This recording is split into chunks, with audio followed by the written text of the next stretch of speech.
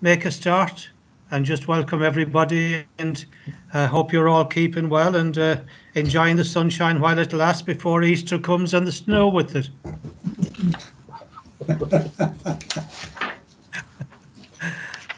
if we can, uh, I'm not aware of anybody giving apologies, so I think we should all be here.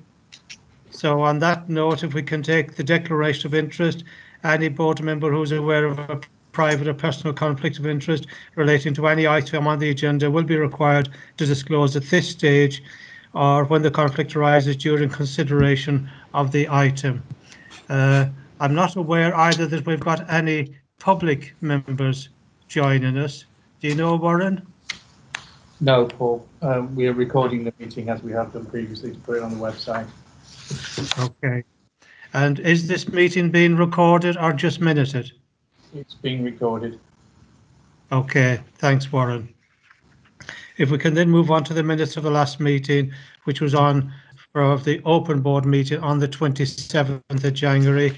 And what I will do, as always, is take any inaccuracies or any matters arising as we go through each of the pages, starting with page four.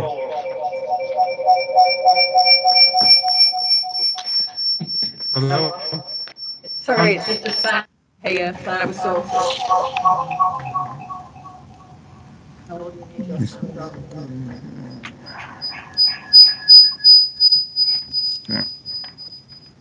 Are we okay? On page four, I just note that uh, Stephen is spelt incorrectly. It should be with a PH. I'm right, Steve, in that, aren't I? You are? Yeah. So that's on page four. Page five, just in the action log, uh, item action two, it should be provide Yeah. update. right, okay, thanks, Michael. Page six. Page seven. Page eight. Nine.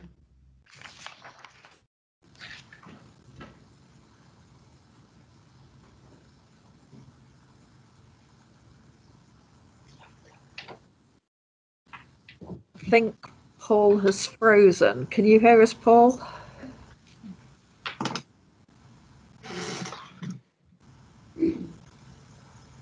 Paul, we've only just got you back. You froze for a while.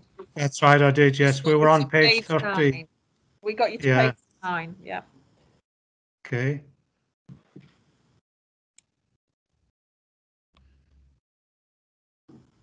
Something has gone wrong somewhere.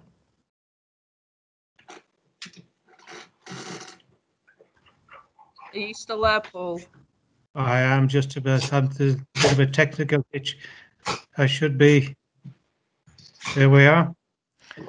Page 40, on page 14, it's bullet point five, uh, where it starts was the way in which trust was managing contact. Should there be between patients in there? Yes, it should, yeah. Yeah, page 14.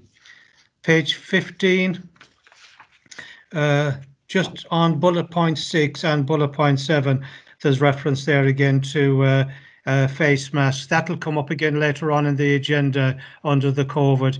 I presume either Noel or yourself, Sue, will update us on that. Yes, we can. Okay, that's page 15. Page 16, 17, 18, 19, 20,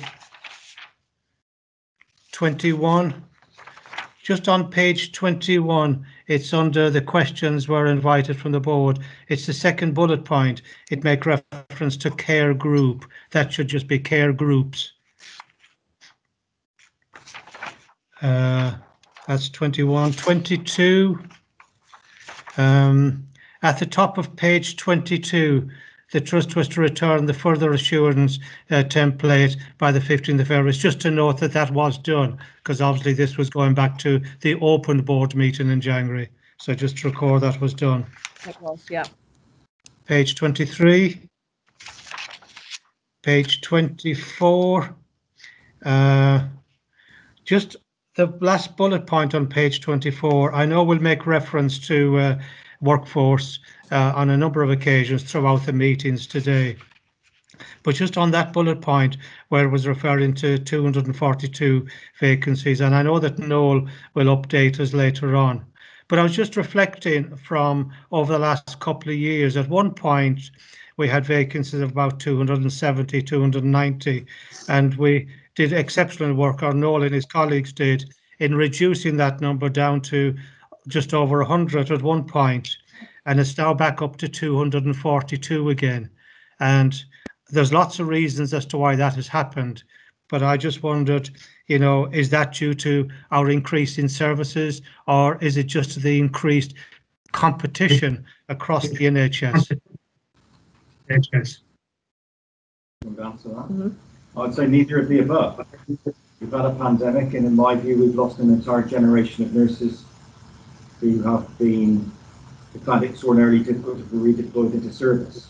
Sickness levels are running at an all-time high, and I'm certain it's led to an increase in resignations and turnover, combined with a significant reduction in recruitment capacity. So um, uh, this will be a feature of the health service.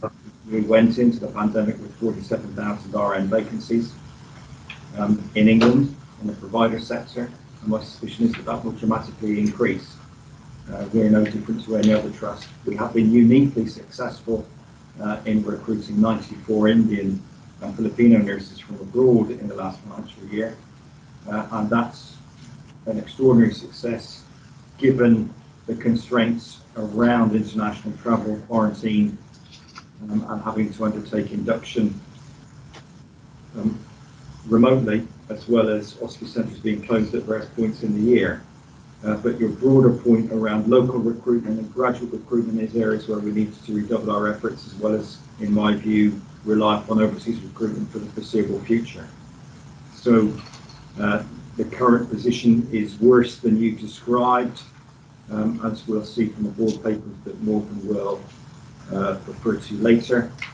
Uh, and we have a significant challenge to overcome, but I'm confident that Catherine has plans to provide a more sensitive and responsive approach to local recruitment, but that doesn't uh, in any way diminish the efforts we must make to retain the excellent people that we have currently on staff. Uh, so uh, the workforce is, is a huge issue, but it doesn't refer to any of the points that you made. This is purely a function of uh, the pandemic. I, I'm going to come back on one of those points if I may, Chair, but first of all, could I ask Morven to come in? She's put her hand up. It, it is just worth also recognising that we have changed the basis upon which we report our vacancies. So historically, we, as you will recall, had a vacancy factor which also accounted for others that were unavailable for work. And uh, as of the end of last year, we have started to split that back into a, a pure vacancy against establishment. So that did see an increase in those numbers. So I think that should be noted in the Yeah. report because that is quite important. And we are also accounting for, there is some establishment alterations on the back of business cases, etc., that have been recognised and they've been annotated in, in the board papers as well. So just, so we are clear, there is, there is some adjustment to the way they are being reported as well. So it's not apples with apples, Paul, I think is what Morven's saying, partly because Yeah. we've changed the counting so that it's more meaningful in, in order for us to use it as a way to um, optimise recruitment. But also in October, the board approved about 21 million pounds worth of development. So those posts have come in, and obviously there's a lag between us approving them and getting people in. So both of those um, matters have increased the um, apparent vac or the actual vacancies on top of the point that um, Noel makes. Okay, thank you for that. That's uh, helpful for that, uh, obviously, update on that. Page 25, 26. Just on page twenty-six, Chair, the second off Yeah. bullet, second off bottom bullet point, um, references the position accounted for five hundred and twenty K in COVID funding. That should be additional COVID funding over and above the core thirteen point six six million allocation. Okay, thank you, David. Page 27. And then we move on to the action log. And the first one on the action log is uh, uh, item number three, Warren, which Sorry, you sorry, Chairman, obviously. Chairman, um, sorry, Noel wants to make a point. Could What I page are you Oh, on? sorry. Uh, in the minutes, it doesn't appear that Catherine Byrne is referenced as being present, although she does appear to make a contribution to the meeting, which is quite a good trait. That she was supposed to do it within, uh, Oh, oh, right, so she's not listed. She is listed. She is listed. attendance. She's in attendance.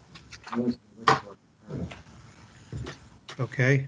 So on to the action log, item number three, that's the board development program, Warren, which you've obviously included the schedule.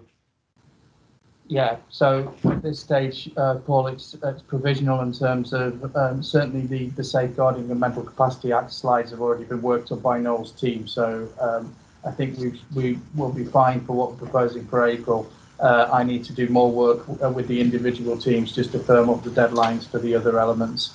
And clearly, we have some flexibility, um, in terms of other slots during the year, so we can move things around or add anything else that the board would like and considers an item of importance. Okay. Right, Paul- thanks, Warren. Paul, could I add later on on the um, in the papers? We'll also it's a CQC paper under my items. We'll also um, we've pulled together a um, schedule of the development that we have done in year because whilst we didn't follow a formal pre-agreed program, we've done an awful lot of development that we've needed to do on the back of COVID. So I'll refer to that under one of my items for the year 2021. That's great. Thank you, Sue. Item number six, which is the, the plans in relation to sustainability object, objective on the BAF. Sue, Yes, that's in the papers. that's in the paper. Uh, next item number seven, which related to you, Paul, it's about being on the sustainability working group. I presume you've already joined that. Uh, that well, to my knowledge, that there hasn't been a meeting. I haven't got anything in the diary, so um, I presume it's just not happening for the moment. Yeah, so so Paul's formally now a member on the back of what the board agreed. So Paul will be joining us at our next meeting. Okay. Okay, thank you for that. Next item, Morven, is relation to infographics and uh, charts. They're incorporated in the, uh, integrated performance report. So they're in the report, Paul. If you couldn't hear Morven, Right. we're just using one mic in this first bit. So they're in the reports later. Okay, then move on to item number 10, which is in relation to, it's for you, Jeremy, relation to the facilities. I think this is down as mine. So um, we've left all Oh, is the Sue, yes. We've left all the current rest facilities in place and we're looking, and we come on later today to discuss um, capital. We're looking at what we need to do as we move forward into um, the next financial year. So that is work in progress, but just to assure you, all the rest facilities we put in place still exist at this point. Okay, thanks, Sue.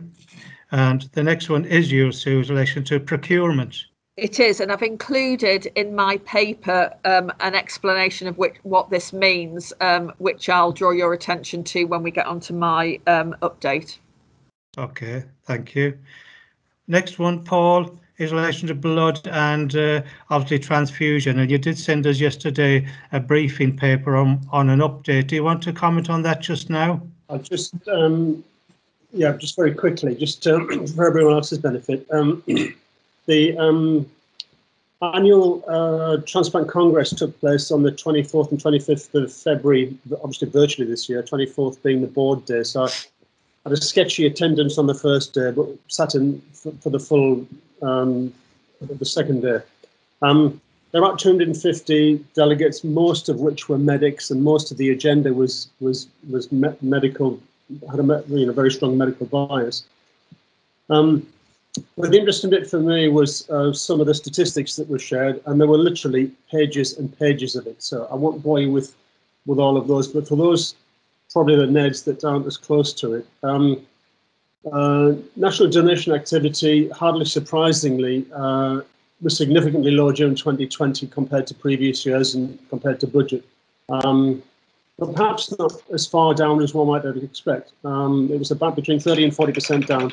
And there is a, a, chart which shows, which I've put in the briefing paper, which shows the decline. Hardly surprisingly, it fell off a cliff in April uh, and had a slow recovery uh, during the course of the year to end up about um, probably 15 or 18% down at the year end, but throughout the period it was 30 to 40.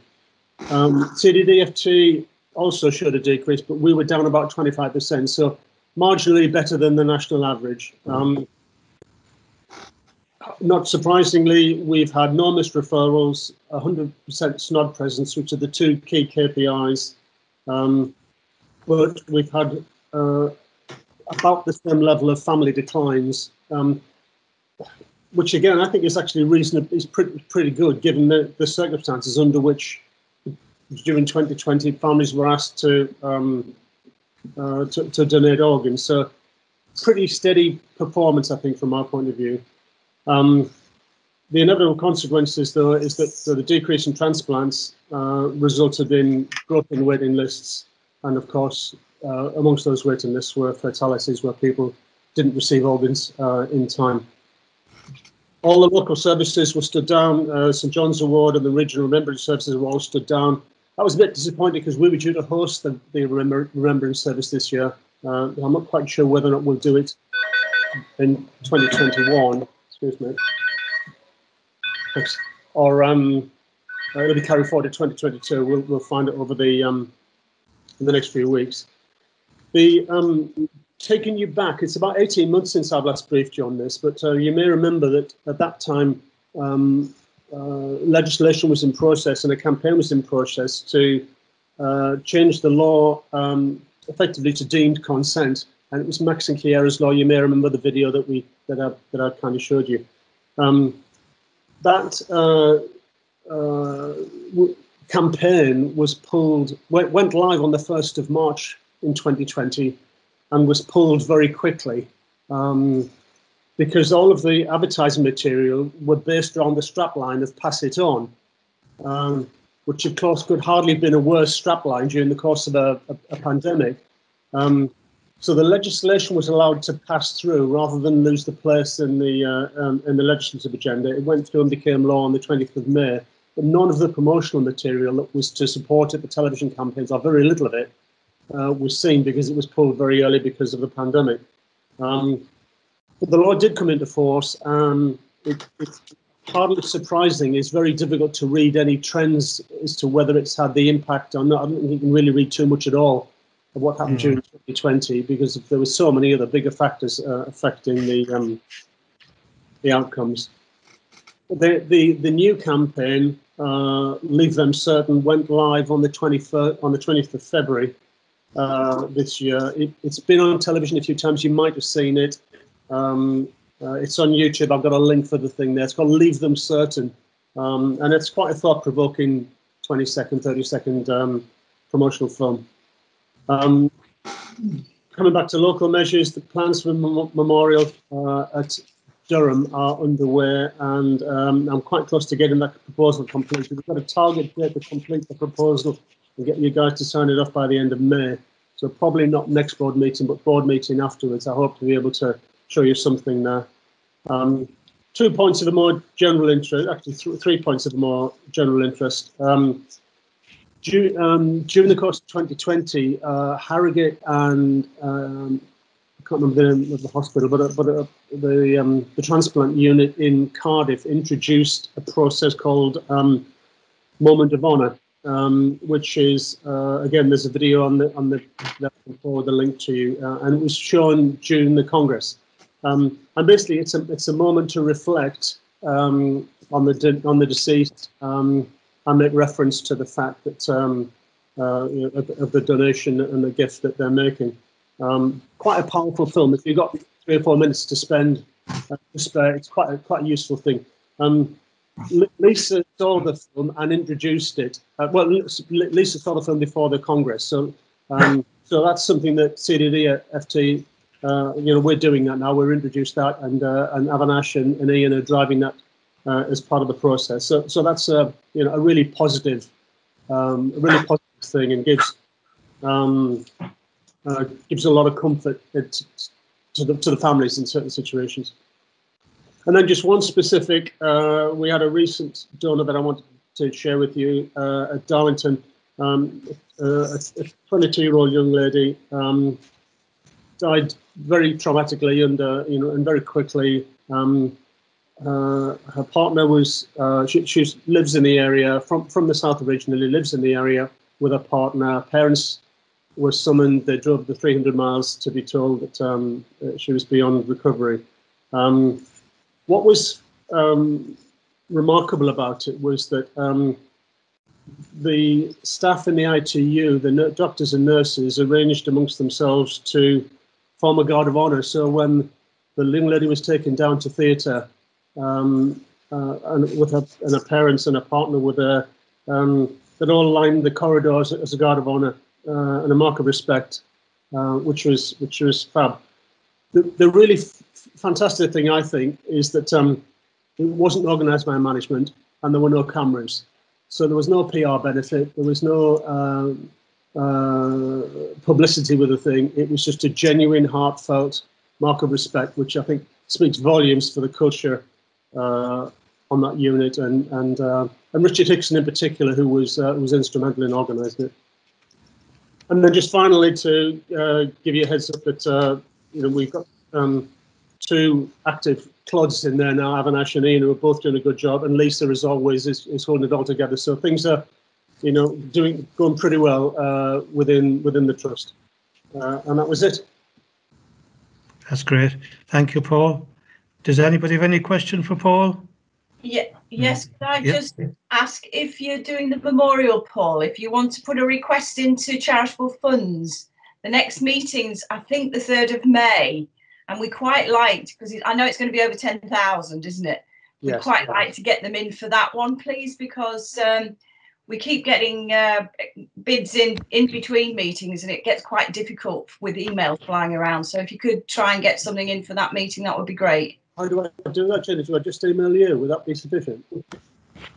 Normally we get a business case. There is a form to fill in. If I ask Asim to send you a form, somebody from the department should fill it in, I think, shouldn't they? So, Yeah, we do that. yeah, if you could, no, it's just the costings. It doesn't have to be great at the minute, but we could approve it in principle. Thank you. Thanks, Jenny. Okay.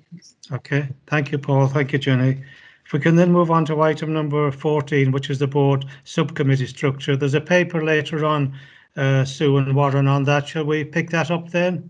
Yes. Yeah. Likewise, the next item, item number 15, is the nursing structure. There's a, a paper in the a board a paper on the papers later on, so we can pick that up later on as well. Then the next item, item number 16, summary of ophthalmology never event, and we've got that in the board papers later on as well for comment. Uh, next item, item number 17, uh, update report on mortality, and we've got that in the board papers. Um, item number 18, nursing midwifery, nursing and midwifery emergency uh, standards. That was Catherine. Uh, is there an update on that, or is that for later? Um, we've added a commentary to the IQ, IQPR.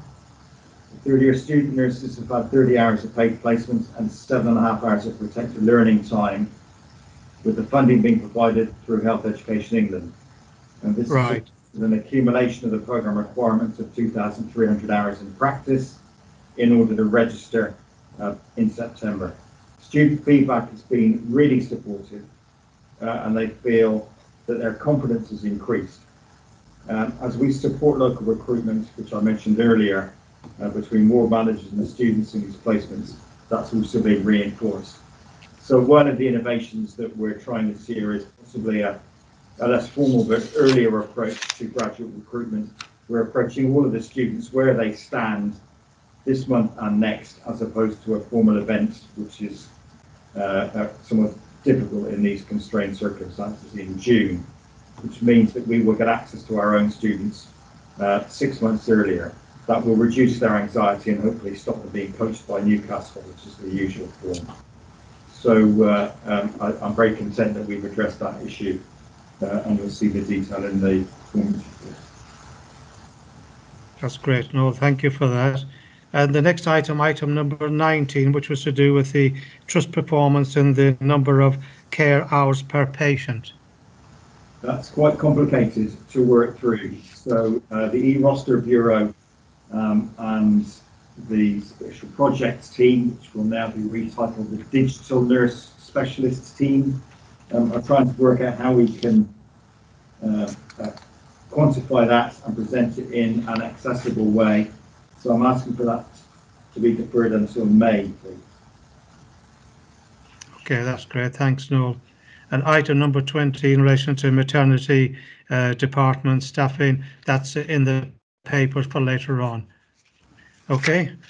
Anything I've missed from the actions or from the minutes of the last meeting? No. No? And that does, we'll move on, Sue, to your item, item number four, update. Okay, thank you, um, Chairman. I think if I may just very briefly um, cover two points that aren't in the papers. One is the Northern Echo Awards. So last week um, they were held, and we were um, really pleased to get Employer of the Year. Um, Tissue Viability won a team award, as did one of our midwives. So just to acknowledge those great achievements um, from the staff within the trust. My second point is just to really um, outline some of the great collaborative integrated work that we're doing. Excuse me.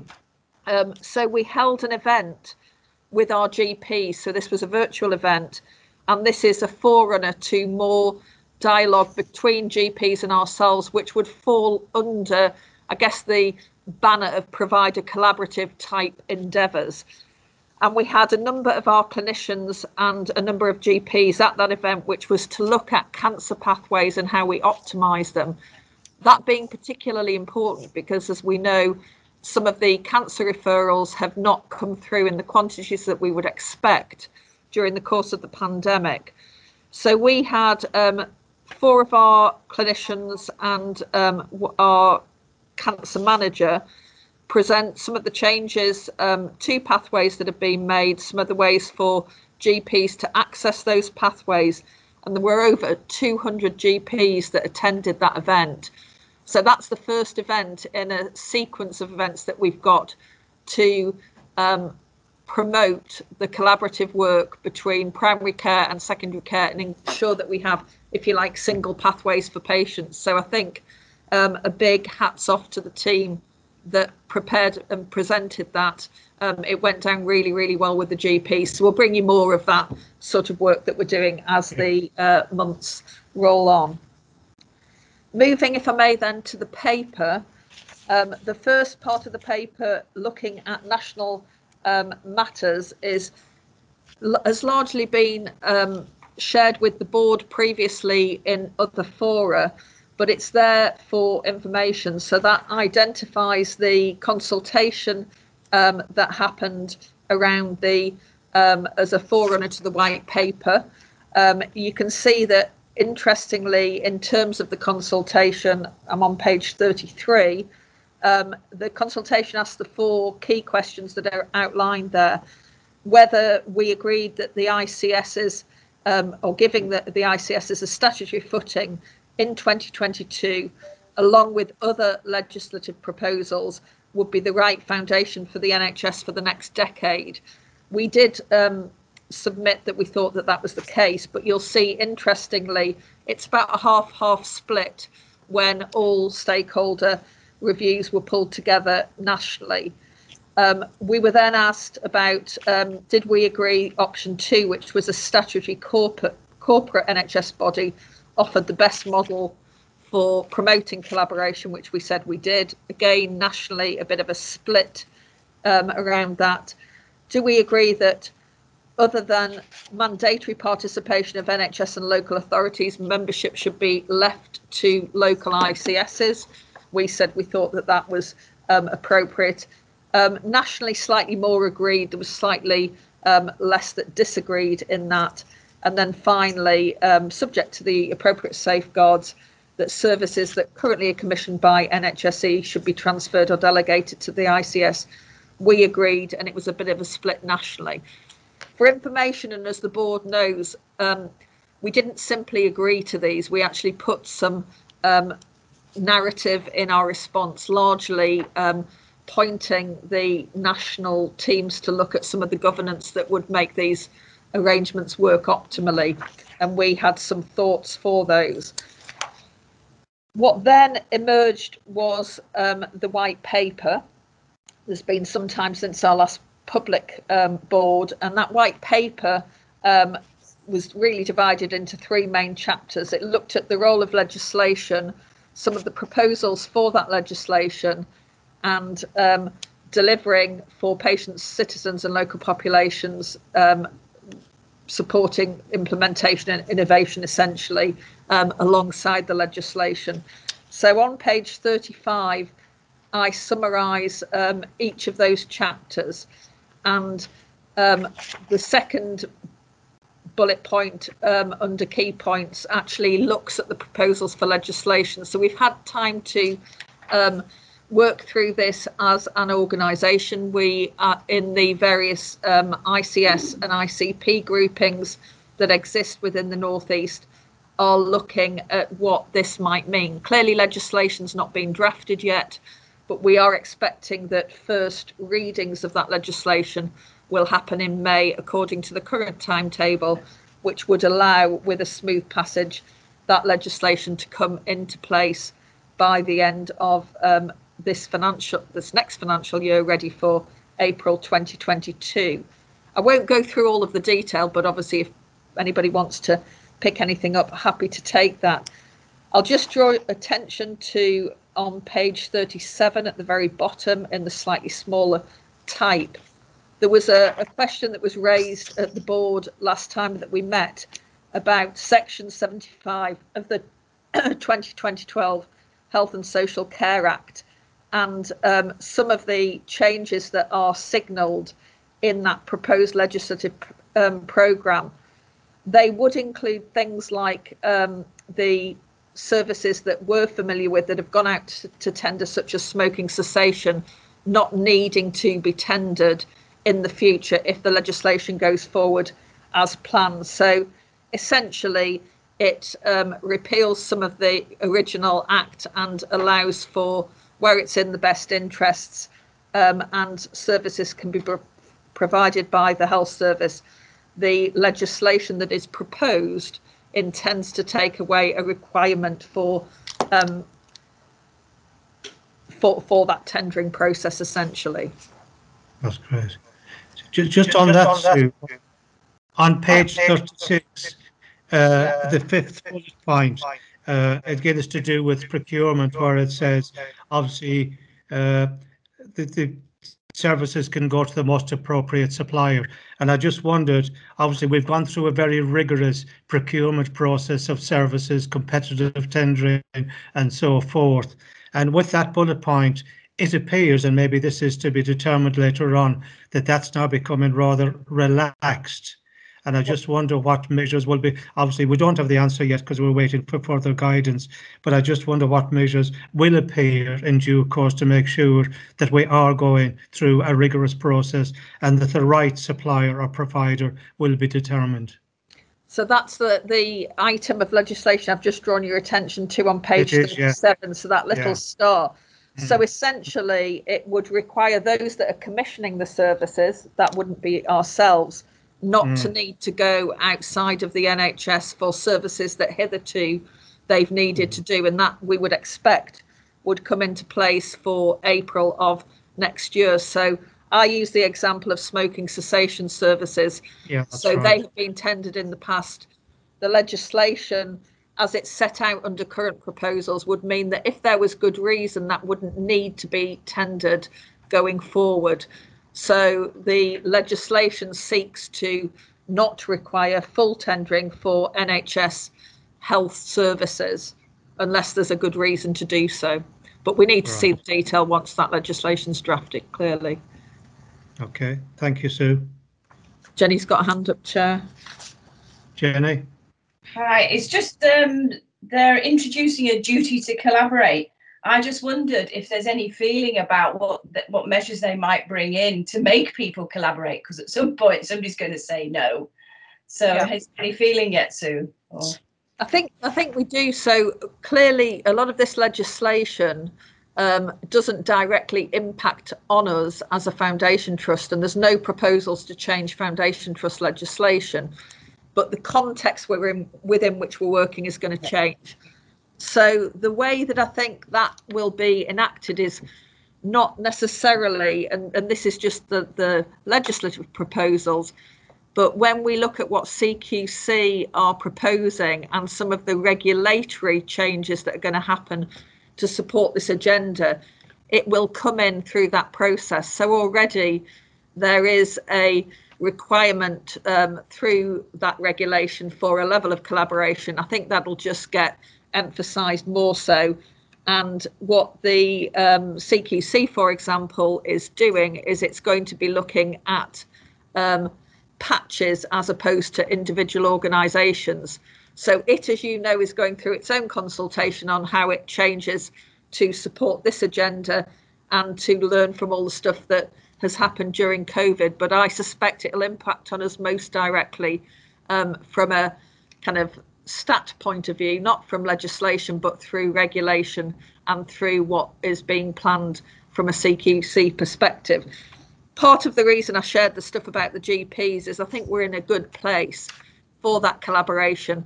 And later on today, we talk about in both the Durham and Darlington locality the um, partnership executives that we have in both of those patches and the work that's being done at place. And I think that's going to be crucial in terms of making the intent of these changes as they're set out in the white paper um, work in practice. And the white paper itself does um, is clear that legislation is only a tiny fragment of what it's trying to achieve as it sets the, the NHS on a course over the next 10 years to fundamentally um, shift, I guess, the health largely of the population because we've been providing really good health services, but some of the underpinning um, metrics around the health of our population have stayed stubbornly static over recent years.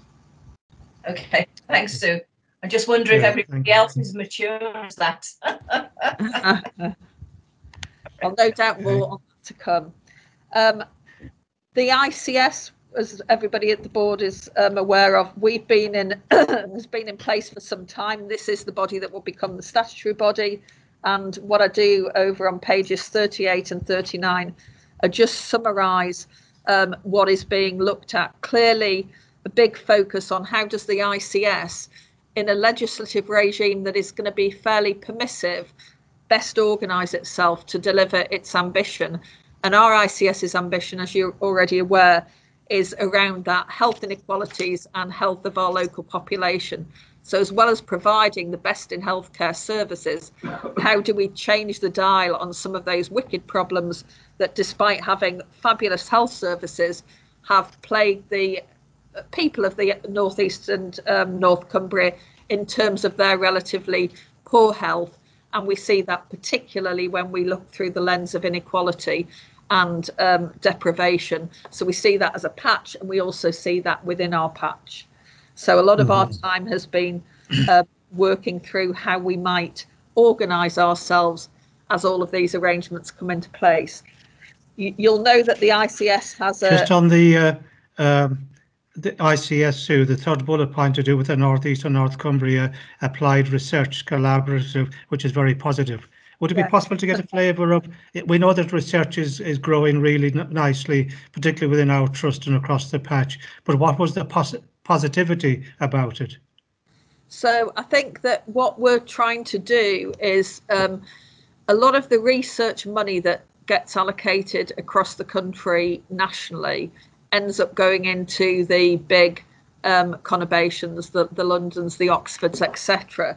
Now we have a strong offering on um, the applied research that we do. We also have a, in terms of the um, health science network, we've got a strong offering there. We've got the facility that was opened by Newcastle to um, support the um, program of um, testing for COVID, and linked to that are some, um, if you like, some academic opportunities. So this is the beginnings of an agenda that looks at if we start tying all these things together, including the research network, which, as you know, I chair across the region, can we create something that's bigger than the sum of its parts? And I think the view is very strongly that we can. And then how do we attract in um, some of that funding, some of that opportunity that we um, hopefully by organising slightly differently, we can punch above our weight, if that makes sense. Yes, indeed. Paul, you got a question?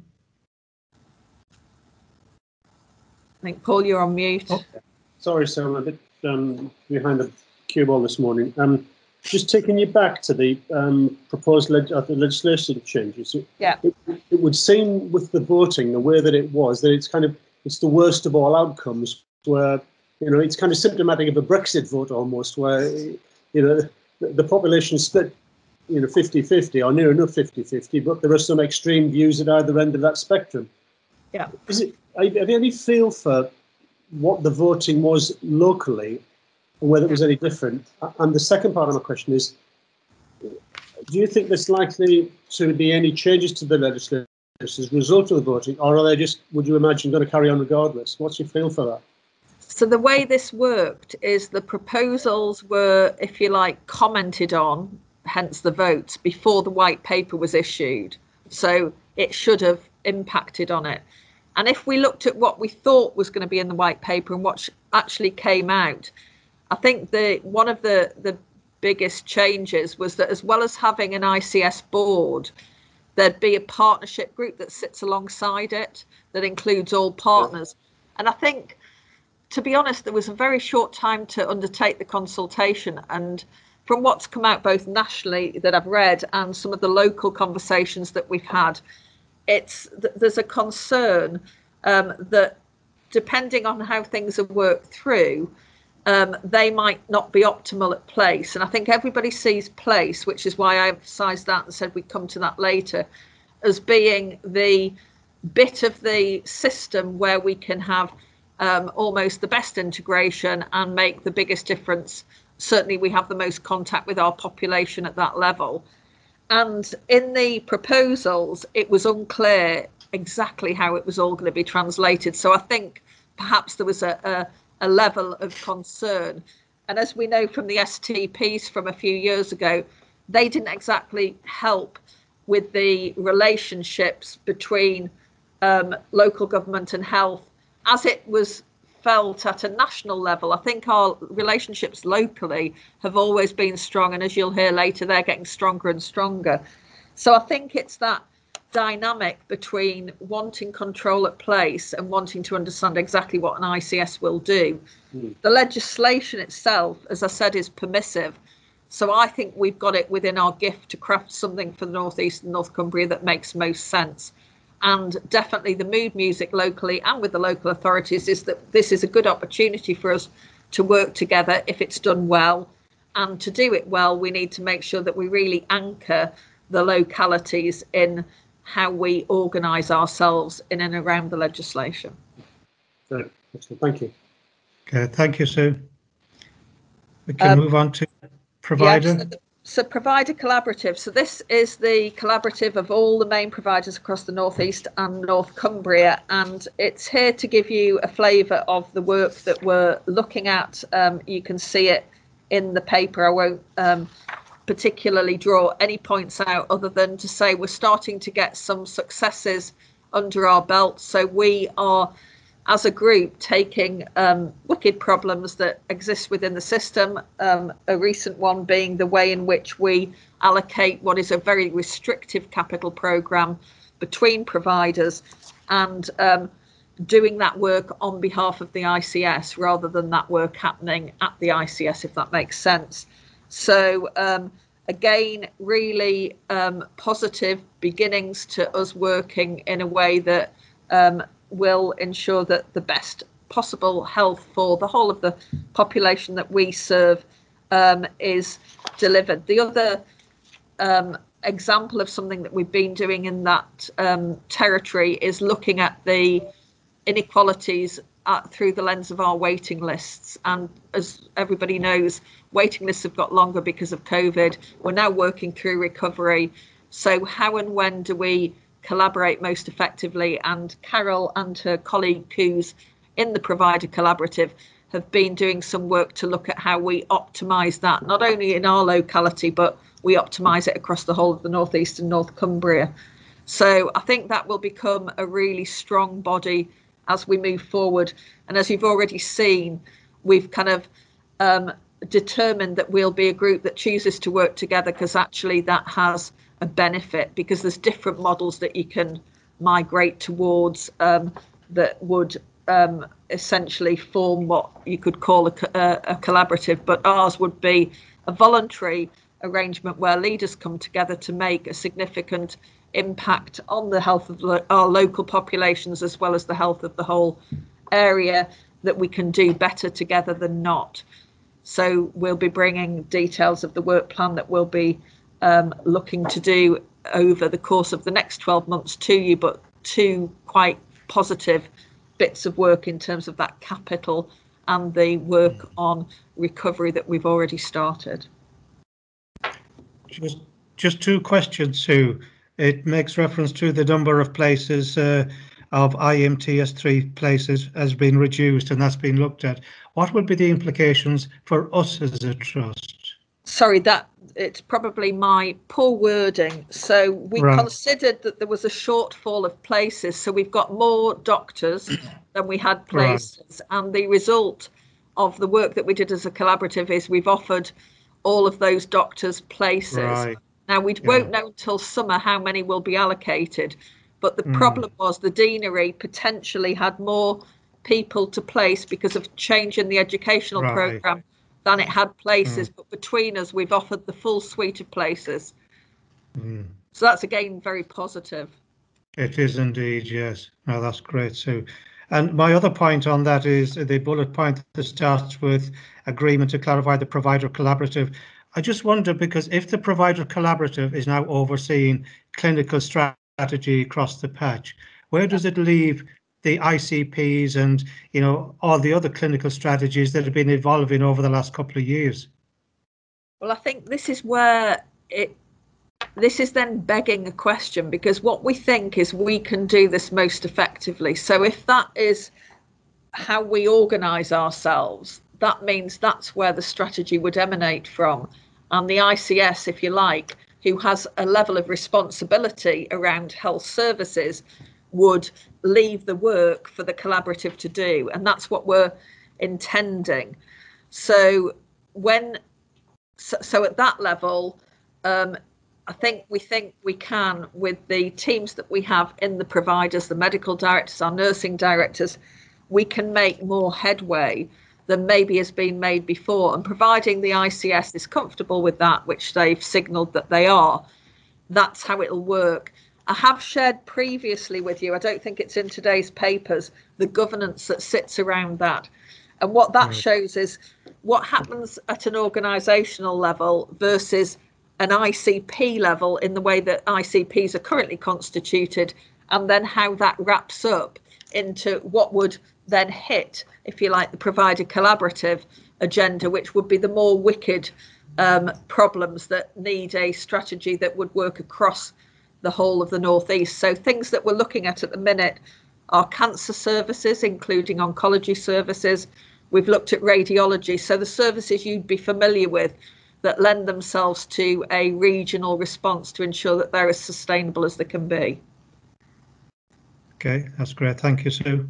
Any other questions for Sue on provider collaborative? No, thanks, Sue. Paul's we'll move on then to next. Sorry, Paul. I think Paul Foster Paul. He has, yes. Paul? Yeah, so just, just um, any, just a, a, quick one. Any further update on South Tees, North Tees merger, chairmanship? You know, getting any closer together, or is it still still? not? So, um, in terms of the the joint chairman um, has been appointed, and I think we're due to have a, a, a wider discussion um, later on um, today as a board. Um, so I'll be able to go into. There's not a lot more detail, but um, yes, that that the joint chairman which is a, a temporary, an interim chairman post, was appointed to, and uh, we cover that later on in some of the other Thanks, posts. Sue. All right. We can then collaborative between uh, Yeah, North so I'll, I'll, oh, so I'll cover both of these if I can together. So really, this is just to so the ICPs still exist, and they exist because they were established under the old ICS arrangement. Clearly, as we work towards a new, um, or we work towards defining our ICS under this new legislative programme we've talked about, we need to, alongside our local authority colleagues, work out what is best fit. So we're involved in that work, but in the meantime, the two ICPs continue uh, to meet, and the document just gives you a flavour.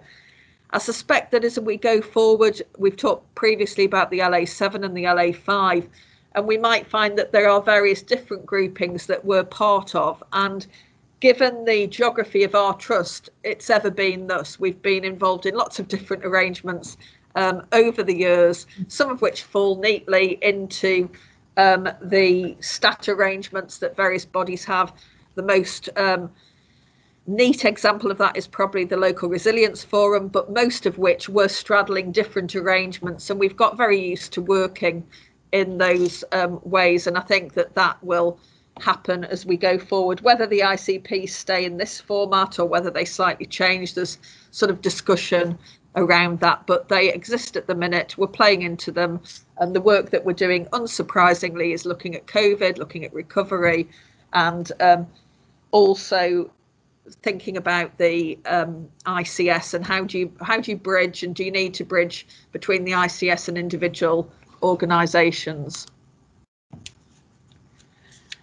You happy I continue, Paul? Yeah, yes, I'll, please, I'll keep yeah. going unless you stop me. Yeah, Uh, so, in terms of um, the winter plan, just to say, as you know, our local area delivery board um, looked at the CQC document patient first, which looks at flow and is a cross system, and determined that there were no further actions that we require were required to optimise performance. Carol will come on to some of the good performance we've seen, um, and it's really just to signpost the board that IQAC is and has now taken a look at that, and I'm sure Paul will talk. Uh, sorry, that Michael will talk about that later on. In terms of EPR, and we've got um, a bit of a discussion on EPR later, um, but we've held the second transformation program board. We've done some work with our internal auditors, looking at our state of readiness to embark on this program of work, which we're contracted to, which will be massively brilliant for clinicians across the organisation and our patients. But as always with these schemes, very complicated. Um, so through that external work, we got a green light from our internal auditors. Cerner themselves, our supplier, do um, gateway reviews at various points. So they were assessing us through a slightly different lens, their own lens. And again, we got a really good um, clean bill, bill of health. That's a pre-alignment gateway. During the course of the um, program, there'll be a number of gateways that we'll go through. So we'll always be taking a internal independent view through audit as well as the Cerner view as we seek to make sure that we have as smooth an implementation as we can. And the arrangements agreed by the board through which Richard and Steve are providing a level of um, constructive challenge that's now begun, Yeah. so that's now in place. So we'll see this really ratcheting up. As you know, it really starts to, from the end of April, you know, there'll be big progress to report on this each um, time at board.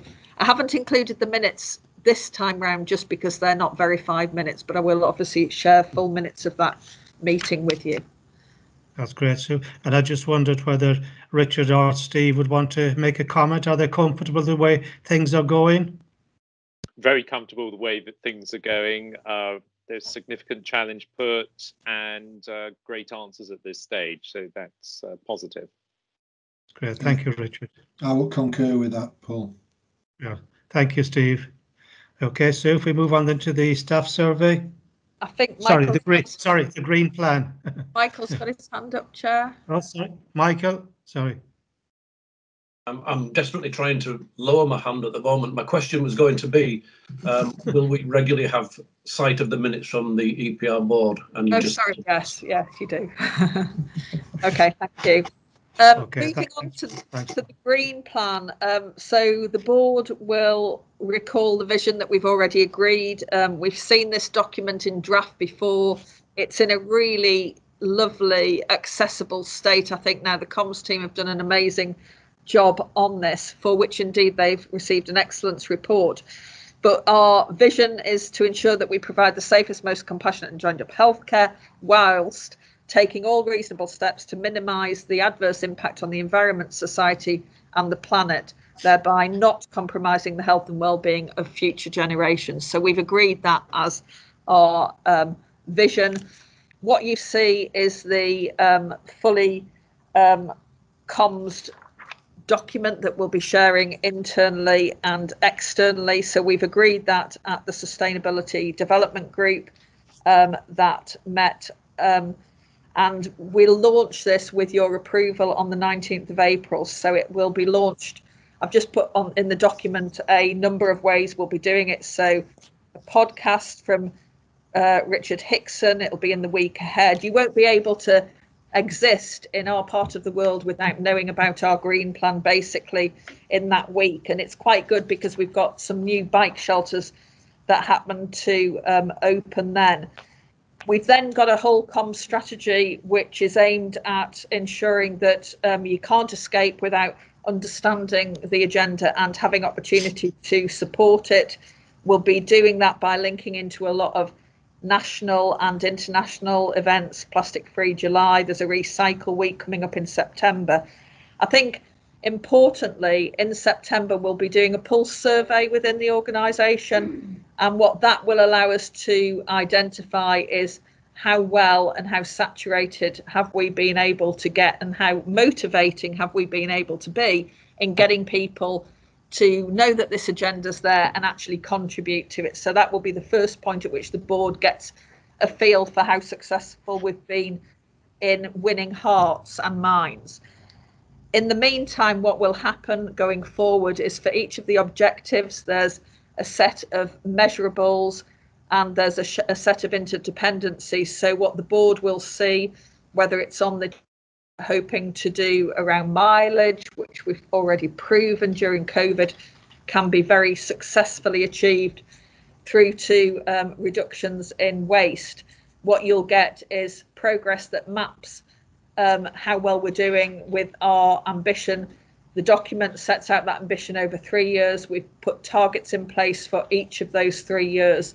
So you'll be able to see um, whether or not we're on track. And the board kindly agreed this as a, an additional um, objective linked to the board assurance framework. So you'll be seeing it principally through that, but we'll put some quarterly reporting into you that gives you a bit more detail.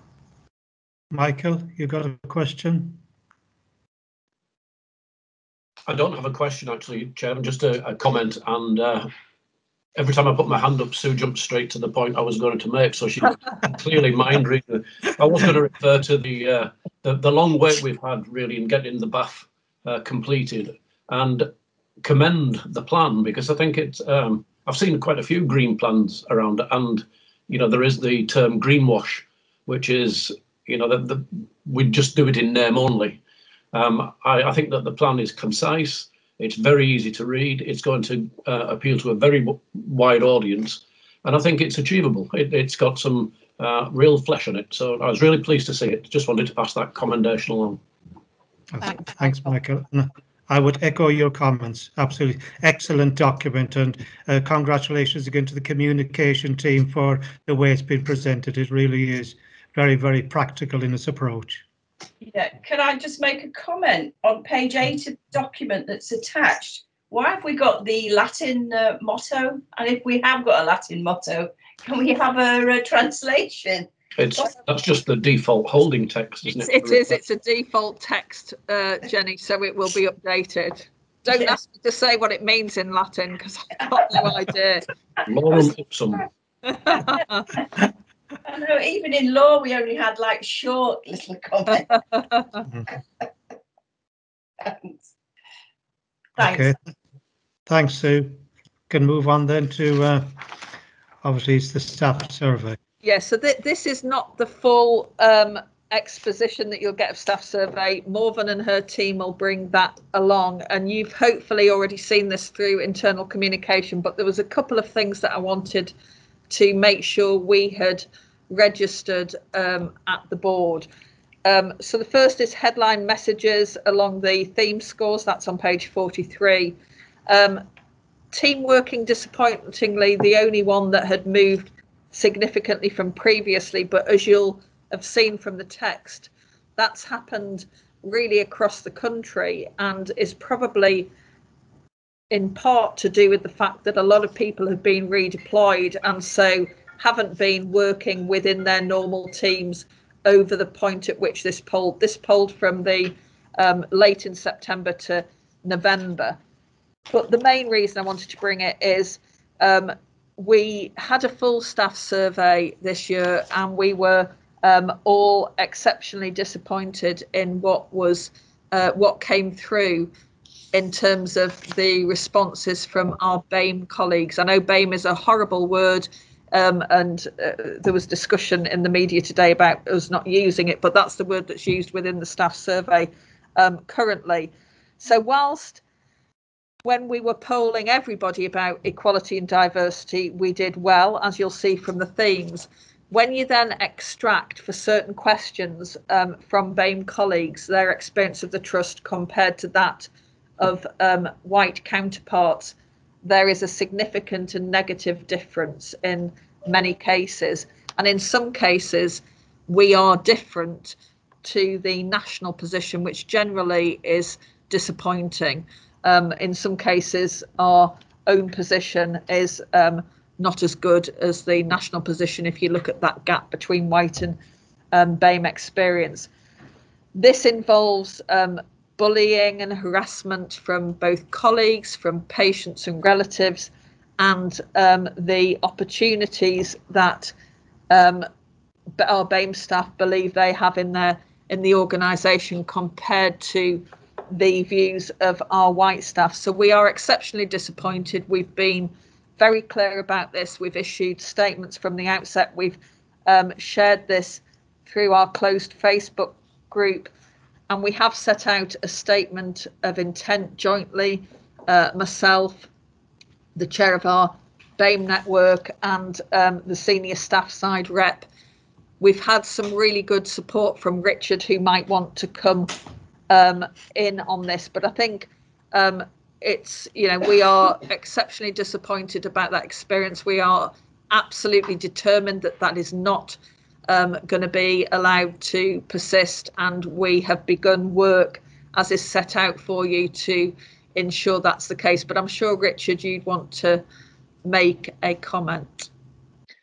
Um, I know the board are absolutely um, committed to making sure staff are well supported under this situation and have hit the ground running. Um, I, in my role, are constantly in contact with the sort of key leaders in that setting. And it does need to be said that those key leaders and the people they're supporting are taking this as an opportunity to build properly and for the long term within the trust and to not only take this as good for the trust, but to use this trust as an exemplar for the rest of the NHS as a whole. So there is a lot of positivity that's gone with it. It does also need to be said that from the center, the larger organizations that look to BAME issues and inclusivity and diversity in general have noted that the trust has got this in its staff survey in light of the WRES and the dares, and particularly they've taken note of darlington. So i've been handling some of that and telling them just how committed the board are the leaders are and uh, especially the CEO and the chair. So I think there's a lot of positivity that's going to come from it. It will take time, but I know the resources are there. Okay, Paul, you've got a question? Paul? Oh. Sorry. Sorry. Daisy, Daisy, I'm trying to ask a question. Sorry, um, she's completely thrown me there. what, what I was trying to ask was that I'm clearly dealing with this. My, my wife's chased her outside, so. um, it's, I mean, it's a, hu- it's a hugely complicated issue, so, but I wondered, uh, you know, other than issuing sort of public pronouncements and, and, and wanting to change things, are there sort of real tangible, you know, steps that we can take, even baby steps to to actually do to do something that's, you know, got a meaningful impact now, sort of thing? Yeah, so so the network um, is um, not the only bit of, if you like, infrastructure that we've got. We've got a, a team within Morven's department. But the first thing um, uh, to, to echo what Richard says, the the, the there is a really positive um, approach that's been taken right across the board, whether it's staff side, the network, the trust, about what we can do, and the practical steps which really fall out of the intent if you've had time to see the statement itself Mhm. are to look at uh, to start exploring um, why are some of those views the views that are being held and what is it that's happening underneath the skin of that so that we can take positive and proactive action so i'm looking in morven's direction because i think that survey has already gone out it's gone out this week hasn't it because i've seen it so you get limited information on the National Staff Survey, Paul, as to why, because it's mainly just answering, you know, across a um, Likert scale. So the first action is to get a better feeling from across the whole of the organisation. That's gone out this week, and you'll see a number of things that happen across the year. And given, you know, the board's interest in this and the benefit that will arise from the work we do in this for everyone. We'll we'll keep you closely advised as all those actions start to um, take a, a, a grip within the organisation. Okay, thanks, Sue. Just on that, obviously, the, the statements from the uh, board are very, very clear in terms of our commitment to resolve this. But I just wonder, Sue, if you could just give you, you've referred to actions that we're going to take to, to resolve this matter and to make sure that our equality and diversity is absolutely at, at the highest possible standard. As this is an open board meeting, if you could just summarise some of the actions we're going to take in conjunction with Richard to, to resolve that matter. I will. So I think the first thing to say is that um, our equality, diversity, and inclusion agenda covers other groups as well as um, BAME. I'm picking BAME out because they the, the results and what we saw through staff survey are different and more negative for BAME. So I'll talk about the BAME agenda, but that doesn't mean you know we're doing work in all those. There's there's two other groups we're, we're doing work there. So the first thing is to say that we've got a network um, that is looking at this. So we're not starting from no action at all because these networks have been established. I think it's fair to say that they've had, like everything else, a bit of an interruption to what they've been able to do this year because of COVID. The main thing that we're trying to do around the BAME is first of all be really overt with our statement of intent. We want the experience of everyone in this organisation, whether it's around the opportunities you face or whether it's the way that you are treated by your colleagues or by our patients and relatives to be the same. There should be no difference. So I think being upfront and stating that and being out there around it and communicating that is the first thing to do really overtly.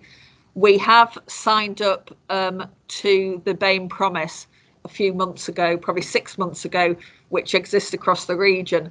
But we're doing this more publicly and pushing this out more in our organisation. We're encouraging people, if they experience discrimination, to come forward. We're providing them with details of how they can do that. We're also um, seeking through the survey that I've just mentioned, our own survey, to understand what is it that means that those BAME staff um, are reporting that they have a poorer chance of opportunities within the organisation so that we can then understand it and work through how to address it. So I think they're the I think that survey is going to allow us to understand it much better and the network really wants to understand it themselves because I think that we've not really had opportunity to do it. So a lot of actions will drive from that.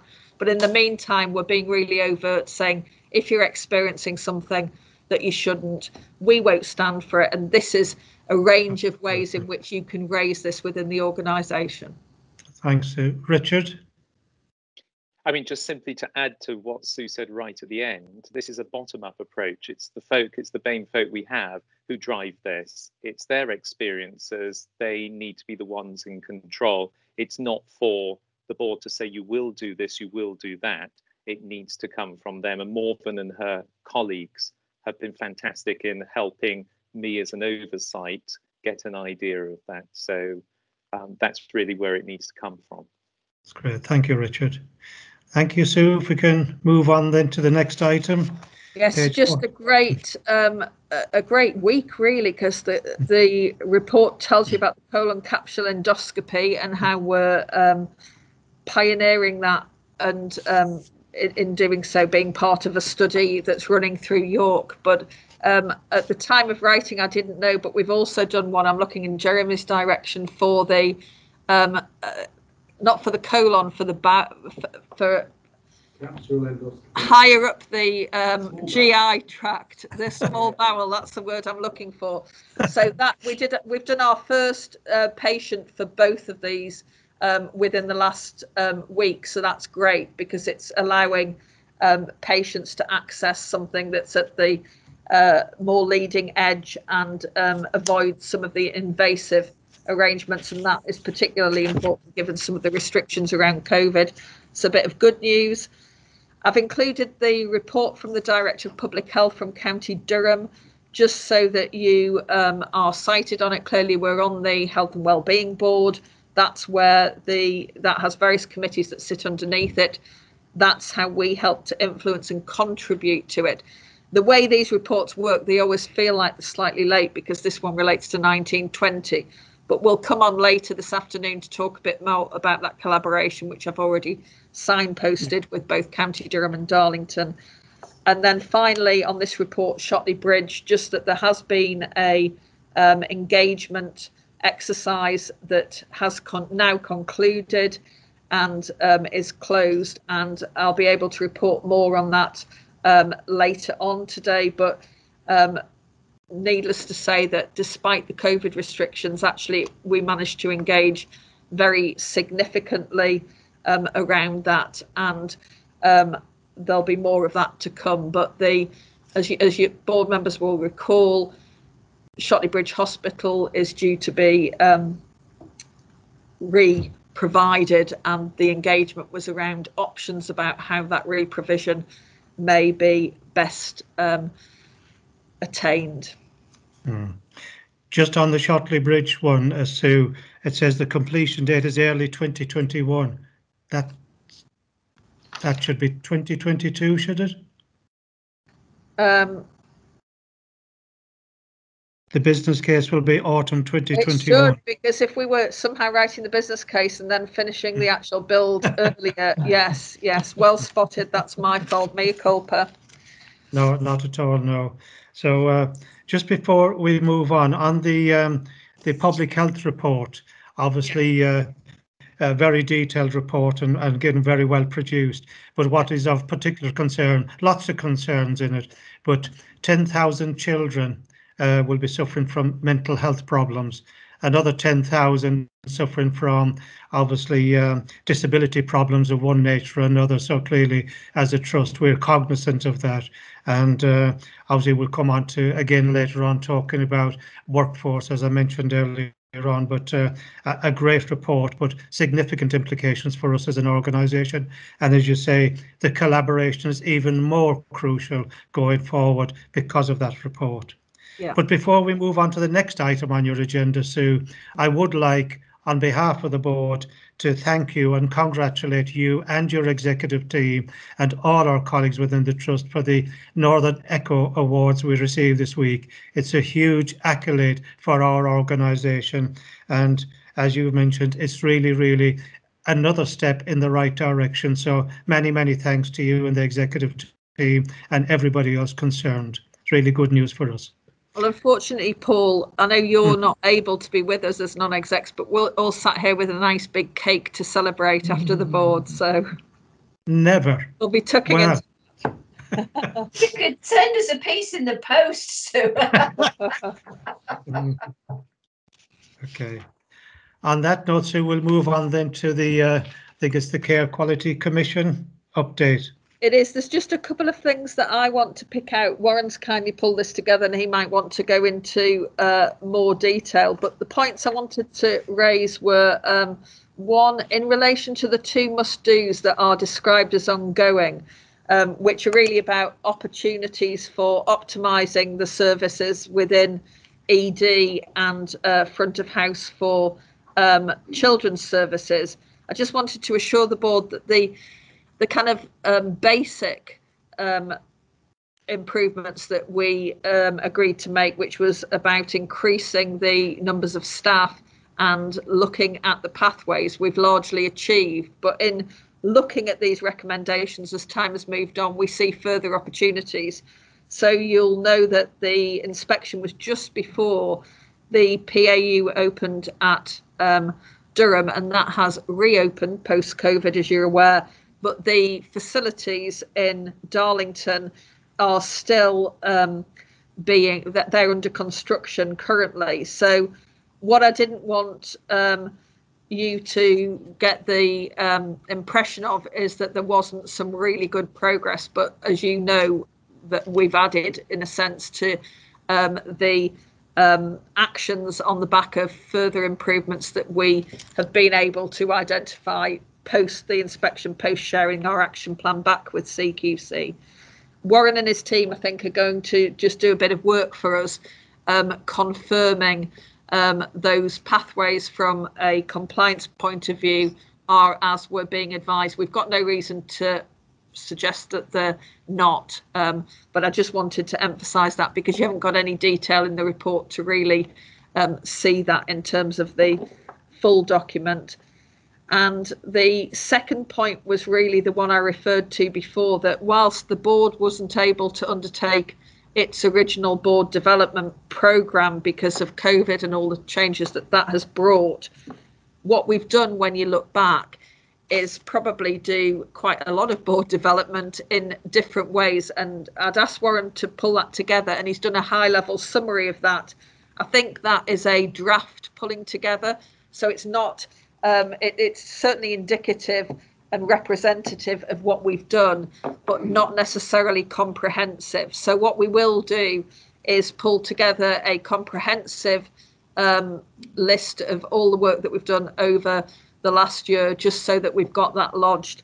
And uh, Warren, um, as we've discussed, has got his um, sights firmly on our plan for this year, which involves some more basic training to begin with, but more developments, devel- developmental uh, matters as we go through. So they were the two things that I just wanted to pull out and emphasise. But Warren, I'm sure there's other pieces that we should Yeah, I think just to give the board uh, assurance, first of all, um, in terms of um, the last two engagement meetings, in fact, because we also had one with CQC yesterday, um, that um, uh, both of those meetings have been um, uh, fine in terms of um, our ability to provide the information CQC have requested, and um, they've confirmed in both meetings that we're not flagging uh, on their risk radar. Um, we have satisfied them in terms of the the progress of um, the, the things that they routinely refer to us um, because um, local authorities or members of the public go to them. Um, and so, in terms of ongoing inquiries, there are some follow up points from myself and Emma, but they're just of a routine nature. Uh, and in terms of our response to some of the, the um, more substantive queries that the board's aware of from previous meetings, they are content with where that's going. Uh, I've appended the response to CQC's um, strategy. So I think Sue's already alluded to uh, their direction of travel um, in terms of supporting and regulating systems as well as providers. Um, and clearly, um, what they're looking also to do is to increase their focus on the needs of communities and patients and how they regulate against that. They're looking, as we've all wanted them to do for some time, to be smarter in terms of how they use data, evidence, uh, update risk assessments, uh, and update ratings. They are going to maintain a very strong focus on safe, which I think uh, we would all agree with, um, and uh, to seek to drive improvement both through working across systems and also um, in relation to um, broader items affecting health, such as health inequalities. Um, in terms of the comments that we provided, we're supportive of that direction of travel. Clearly, there's a lot of devil in the detail for implementation of that, including development of appropriate skills, how they consider the evidence base and make sure it's reliable, avoiding confirmation bias, uh, how they recognise good or outstanding practice as well. So, um, but but certainly direction of travel that we welcome, and we can tell even from the engagement meetings that some of the things that they talk about in that publication and in other publications in terms of ongoing monitoring of risk and more dialogue and wanting to understand our own data sources are already starting to come through, which I think is is positive. We've shared the um, transitional key lines of inquiry um, in relation to um, CQC's areas of interest at the moment, and I've appended um, something which I've extracted from their latest bulletin, which summarises their current regulatory approach. It's nothing new, it just reaffirms what Sue's told, told the board previously in terms of how they're continuing to um, do their work with um, acute and community providers in particular based on risk and the risk and, and the areas they're most interested in, which we're bringing through IQAC one by one, having done maternity and patient first, those two areas plus infection prevention and control, which will be the, the next one to come to IQAC next month. That's, That's great. Thanks. Any questions for Sue or Warren? Can I just ask a question, and I'm sure there'll be a very good rationale for it. It's in relation to paediatric specialist staff and paediatric nursing. And again, it crops up under the BAF risk register later on to do with SCABU, neonatal, and that shortage of paediatric nursing. Uh, I am aware that we over recruited paediatric nursing in recent times and I just wondered why, if we've over recruited, why there's still a shortage of that speciality within A&E and SCABU, etc. So we've over recruited against the ward establishments. Um, I don't think we ever recruited. I'm looking at, at Noel in terms of against SCABU. I don't think we've No, over recruited. that's- that's- So that's correct. Separate. So we over recruited against the ward establishments. I think within ED, it's to do with these pathways and because the services are operating the PAUs for 12 hours currently, what happens outside of those 12 hours and how A&E is geared up with paediatric staff to cover and that's what was the if you like the ongoing work that I referred to before Paul Right. Okay. but we Okay. remain over established in the wards is my understanding Correct itself Yeah. But they're no longer over. Oh, they're not, not anymore. So they are at establishment, are they? So, so the wards are now at establishment, not We are- over. We are continuing to make indicative offers to pediatric graduates for the September cohort, given that we're now in March. We don't consider there to be any financial risk there whatsoever either, given the level of turnover. Right. So, so Noel's just updating to say we did over recruit about a year ago. It was about this time, wasn't it? February time, I think. Um, but we're now at establishment, not over. Okay. Thank you. If there's no other questions for on care quality. Paul. it's just Sorry? a practical question, Oh, Paul. Hmm. Um, it's just I, I have attended a couple of um, online seminars. Uh, Warren, do I just send the details to uh, Pete for the board development stuff? Yes, please, Jenny. Yeah, I'm doing one tomorrow on charities. I think. okay, thanks. Okay. That will move on to the board assurance framework. Yeah. Again, I'll let uh, you know. Warren spent a lot of time producing this. There's just a couple of things I want to quickly touch on. One is we haven't had chance this time round for this and the results of this to be um, discussed at the relevant subcommittees. So we'll do that between now and April and provide any feedback from that into the April board. The other thing that I think, um, in terms of when you're looking at this report, and and Warren and I have had a brief discussion about it, is if you look at page 112.4 where you get the movement, so which risks are improving, where there's no change and where there's deterioration. What that doesn't really demonstrate is a lot of the progress. So if you take the risk around um, preventing the spread of COVID to patients and staff, we've done an awful lot since you last saw this. It hasn't at this point in accordance with the way that we've assessed the risk, changed the risk itself, because that's, you know, it, that that has a limited number of times that you're able to change it because of the way we score but there's been some positive progress so we are going to add another column onto that next time so you can see whether there is positive progress being made um, or not and as warren will come on to you'll see that mainly we're in line with our uh, risk trajectories but i just think it would help re- the reader of this report if we included something to signal um, that um, sort of sense of direction. The uh, my final point is just you. Hopefully, the board have noted that there's quite a significant um, change to the risk register, and as the board knows through previous sessions, the executive have met with each of the care groups to discuss um, separately governance arrangements. It's each of the care groups risk registers, and we've also done that for the corporates and the early plans for next year. So some of the um, improvements, consolidations in the risk register have arisen out of that process. And some of them, as you'll have noted from the commentary, are um, signalled to be um, amended and haven't quite um, for the um, timetable for this board. That hasn't quite happened, but it's signalled in the action column. But I'll let Warren go over the substantive report. Thanks, Sue. So there has been a, a full update of the document in terms of, um, first of all, bringing the controls up to date because of the transitional um, state that we've been in, um, in terms of managing the pandemic and coming out the back of that, um, right the way through to the sources of assurance and the assurance outcomes. And although there hasn't been the opportunity for the collective executive review, there have been discussions with each executive owner of, of the individual objectives. Um, overall, uh, 18 out of the 19 objectives are being risk managed in line with the trajectories that the board has agreed, um, and none have deteriorated in terms of the risk scores. Two have actually um, improved. Uh, one is in relation to outcomes from COVID, uh, and the um, uh, second one is in relation to finance for the current year. Um, one, we weren't able to bring the risk score down in uh, line with trajectory.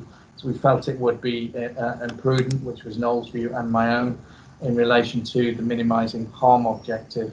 Um, the trajectory was set to be stretching, uh, particularly uh, in a year with other things that we've had to manage um, and to um, put put us in a position essentially where we would be saying that we would have a low uh, likelihood uh, of a moderate or major harm right across the board. Um, and that's quite stretching, as you know, in terms of the tests that we apply uh, in terms of how we would define low, low likelihood based on our risk matrix. Um, given that we're only emerging from the most recent wave of, of COVID infections, uh, we have had uh, higher levels of um, healthcare acquired infections than uh, our own ambitions, albeit that nationally we still benchmark reasonably. Uh, and we also have an emerging risk, which uh, plays, I think, to one of your comments earlier, Paul, in relation to um, mental health uh, and how it's affecting things like um, presentations of um, children and adolescents with, with issues, including eating disorders, that Noel's working very closely with TEWV on. We felt it would be imprudent to reduce that, that risk score at this stage. Um, there are, and the document provides you with the details, some others that are still sitting at 12, um, which is a high amber, and, and one red risk, um, which we've discussed many times at board, and that has a huge amount of focus um, that we'll, you'll hear later in the meeting, and you've heard in previous meetings in relation to recovery of activity uh, and uh, addressing backlogs in particular. Um, what we will be looking to do um, is clearly um, we have a separate COVID section at this BAF at the moment we need to reset it. We need to to um, reintegrate that section uh, into the other principal business objectives.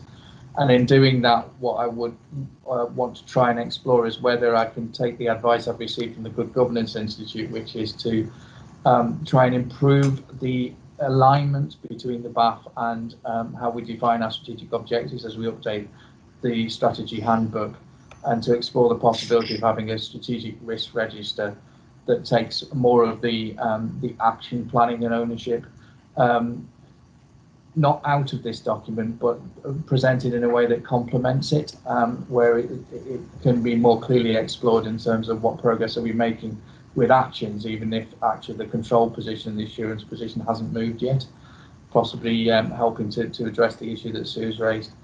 Uh, I'll stop there. Um, there's a lot of detail in the document. I'm happy to take any questions.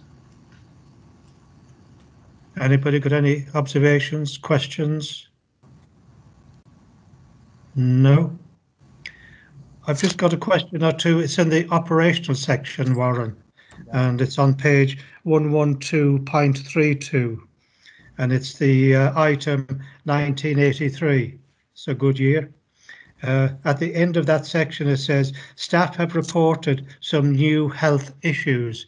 Now, I assume that those health issues were in relation to the equipment and nothing to do with individual staff.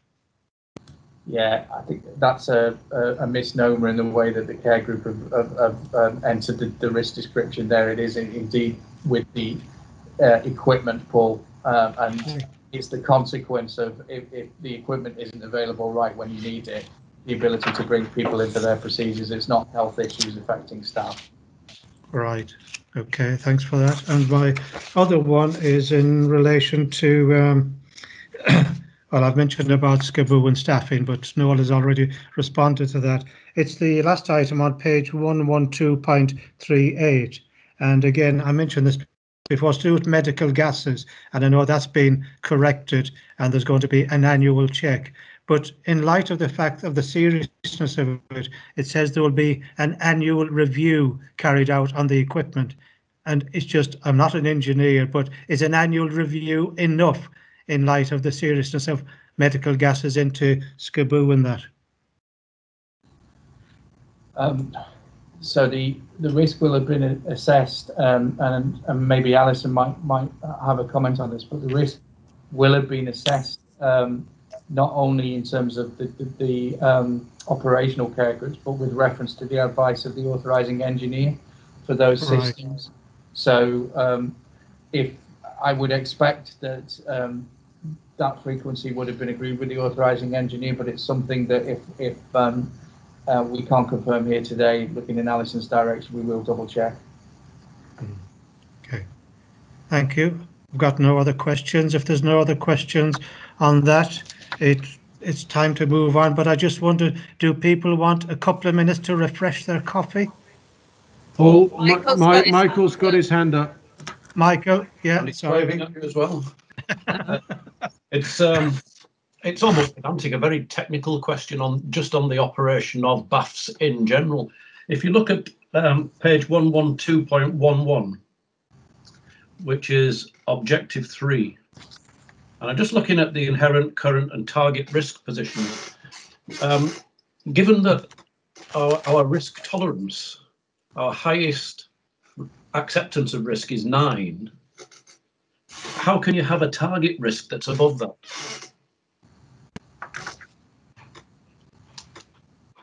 You can um, you, you can operate outside of your tolerance if, as a board, you know that uh, you may need to do so for a period of time, and uh, that was essentially the situation that um, when uh, we did the whole reset of, of the BAF, first of all, with executive directors last summer, uh, and then subsequently um, in discussions with the board, Michael, for this particular objective, um, we felt, um, given that um, it was one of the COVID objectives, and we were therefore only looking at, at a one-year window, that we would have to operate beyond uh, tolerance because we would we would not, and uh, and and this was going to be the same for everybody nationally, not just for the trust.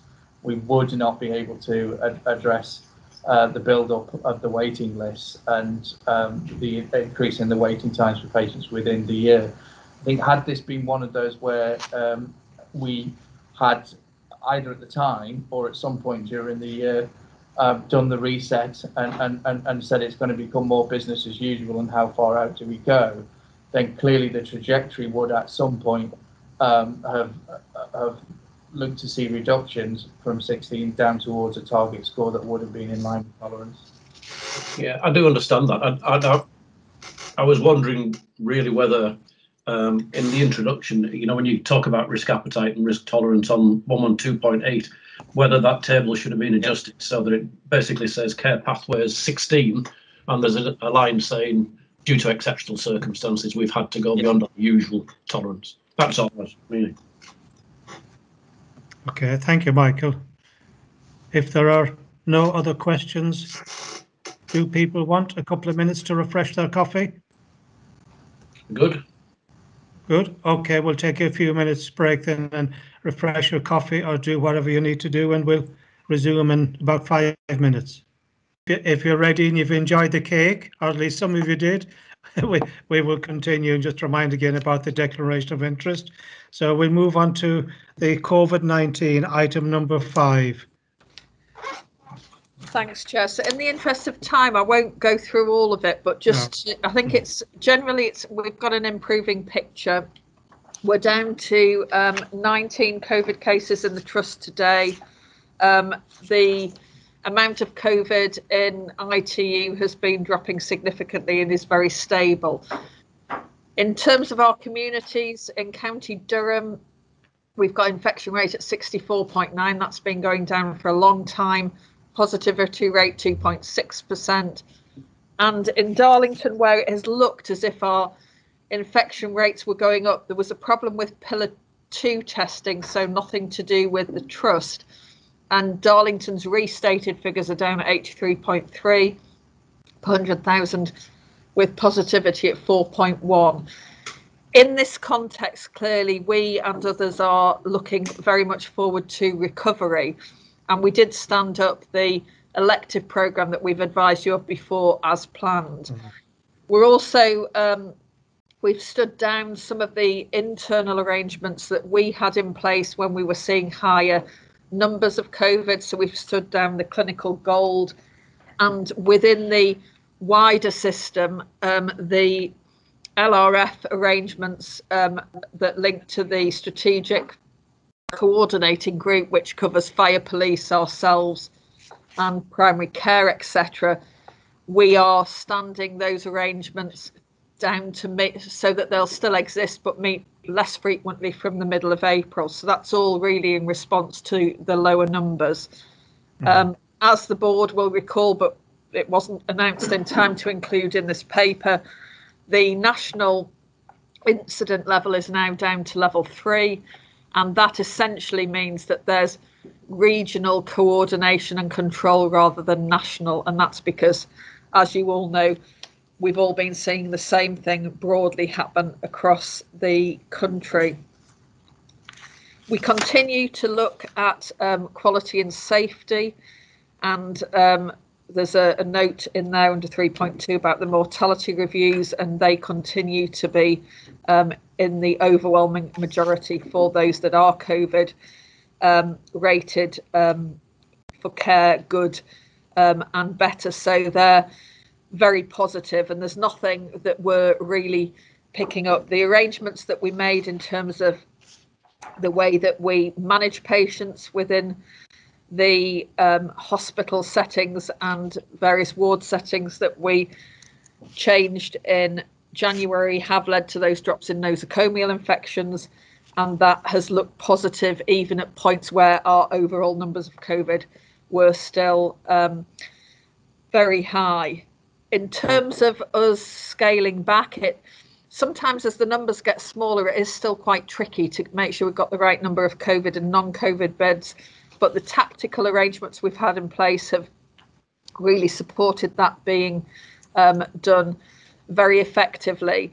And as we plan into next year, and we'll come to this later on the agenda, we're looking at um, how that would work um, under the assumption that we don't have another peak, but we're always mindful that that's possible. So we will be um, doing and um, ensuring that the arrangements, if we do need to stand anything back up, are there and ready. In line with everything else, the staff that are absent have reduced. Um, we've been, in terms of the clinically extremely vulnerable staff, shielding is due to end at the end of this month, in fact, today.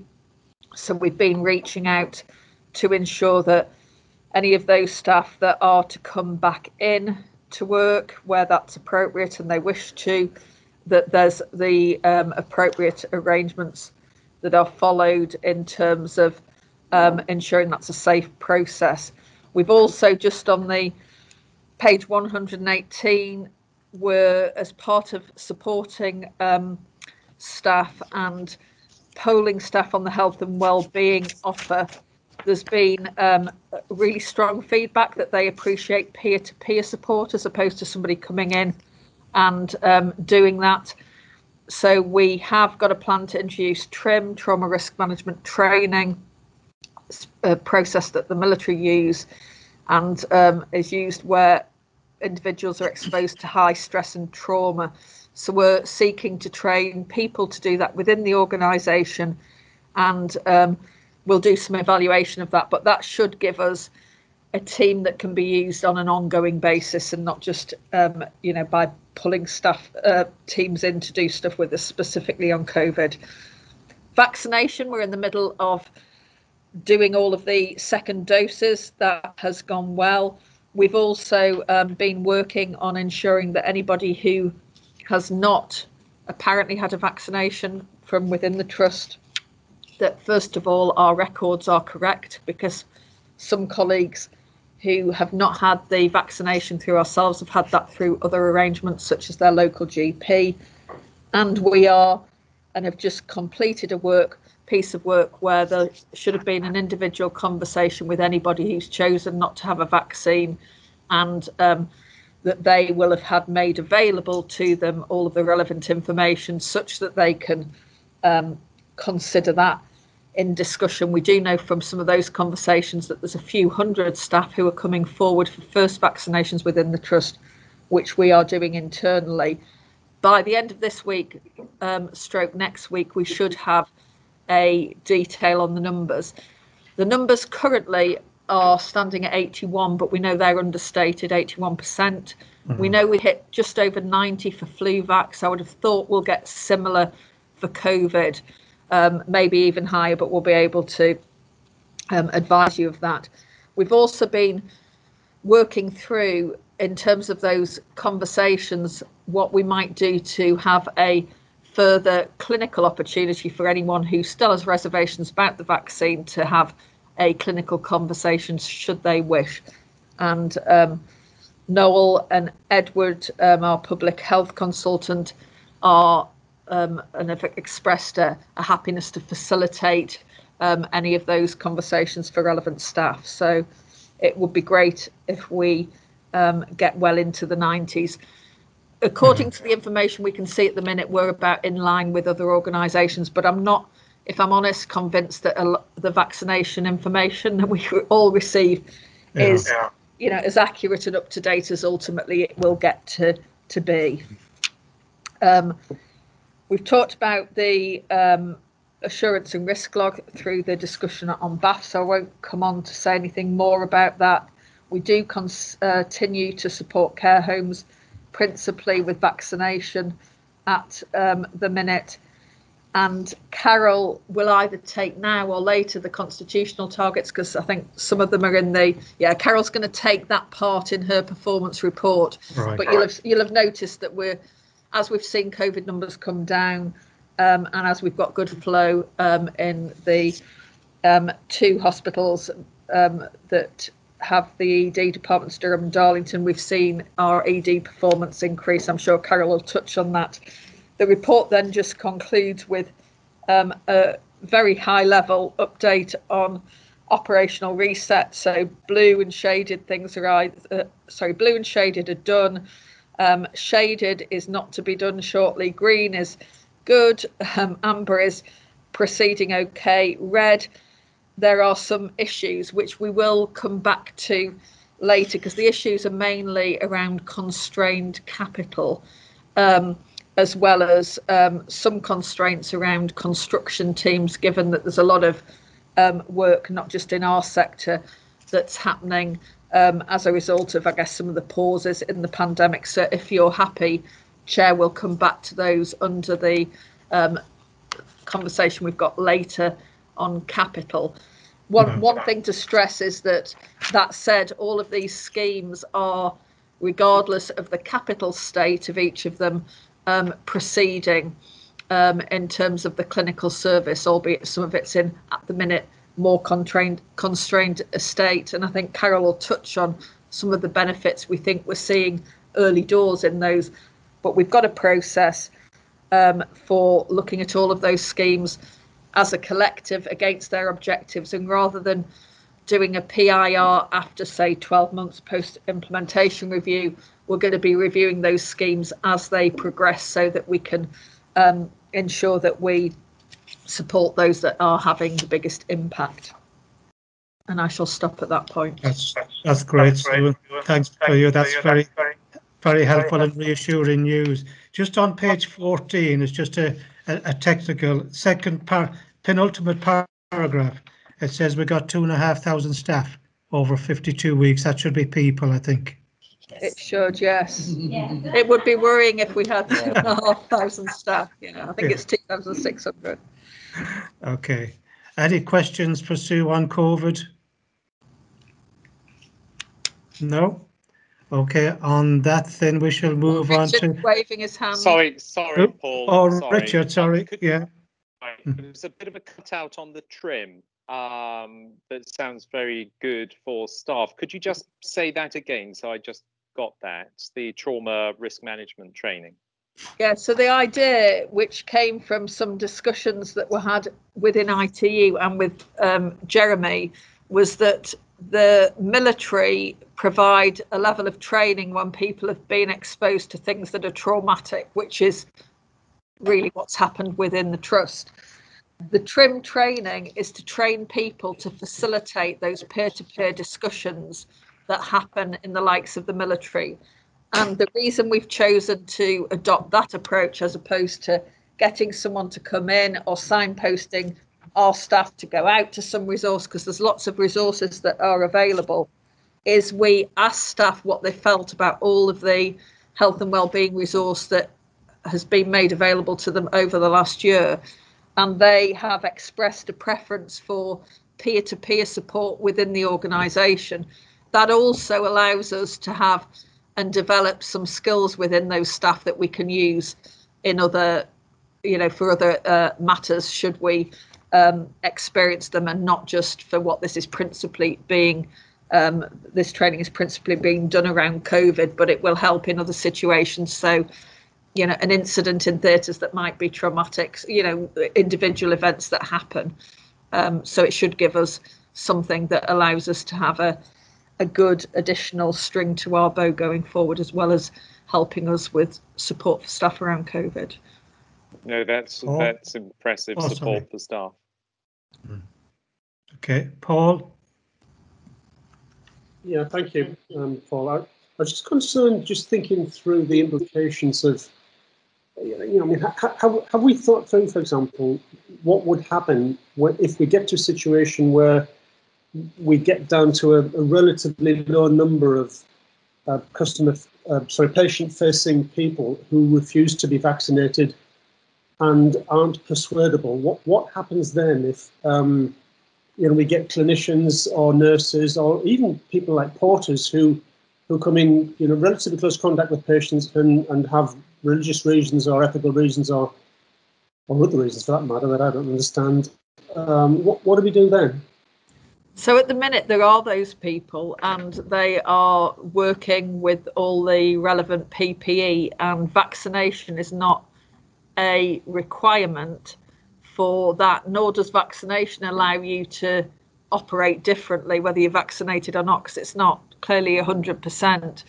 So I think it's inevitable because we don't get everyone flu vaxed think the interesting national debate that's happening is around care homes and at what point and do ever um, the NHS get mandated to have a um, for staff to have a vaccination. It, it it's never happened around flu, um, so uh, I, I, don't know where that argument will go, but um, I know it's being had around the care home sector with the no job, no jobs discussion that's happening. So we'll just have to see. We're in step with um, all national guidance um, in terms of what we're doing, and obviously we are adhering to all the relevant P- PE for staff that have not been vaccinated that are still um, that are working with us. Okay. okay. Are we happy with? It? I know that there isn't a better the better answer, but it's it's not. I think we personally. It's what it is, isn't it? I suppose. But, feel um, that, that vaccination is really important, and that you know we would personally, I'm sure, each think it would be great if the whole organisation got vaccinated but there'll be different reasons why people don't. And okay, nothing else on COVID. We shall move on to integrated quality assurance. Michael. Thanks, Paul. Um, before I actually do the IQAC preface, could I just update the board with respect to um, follow on from the Ockenden review?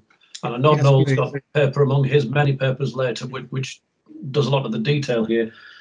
But um, I did meet um, with Noel, with Catherine Byrne, Anne Holt, and Joe Crawford to discuss not only the implementation of the Ockenden report, but in particular the letter that came in on the 11th of January from the uh, Chief Maternity Officer, Officer and the National Clinical Director for Maternity, um, which is effectively not putting a hold on things, but telling trusts uh, to take their time until uh, a national model emerges and a national picture emerges.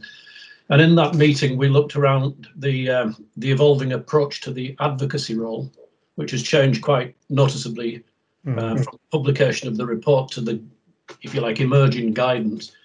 Uh, we discussed the likely structure by which I could fulfil the uh, the role of the NED um, with respect to maternity safety.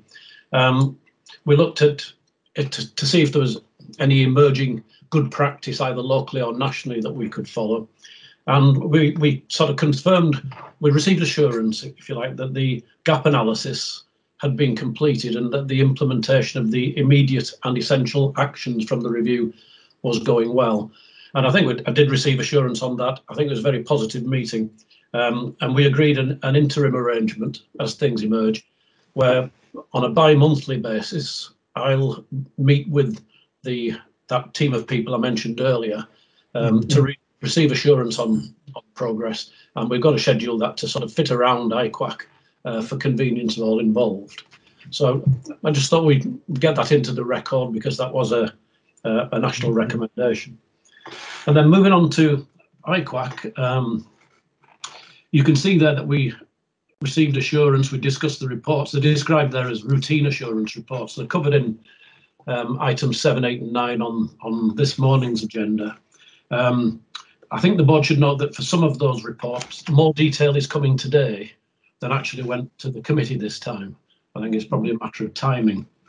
Um, you can see that the um, key points were around uh, PPE, about complaints handling, and uh, long waiting electives uh, were, were particular elements of discussion. We had an excellent discussion regarding CDD-FT quality insights, which I think is becoming a particularly strong tool. Um, do recommend it. Very easy to um, take a helicopter view of uh, the important developments in the trust and to get a very good feel for quality across and, and if you like, guide your um, questions for assurance beneath it.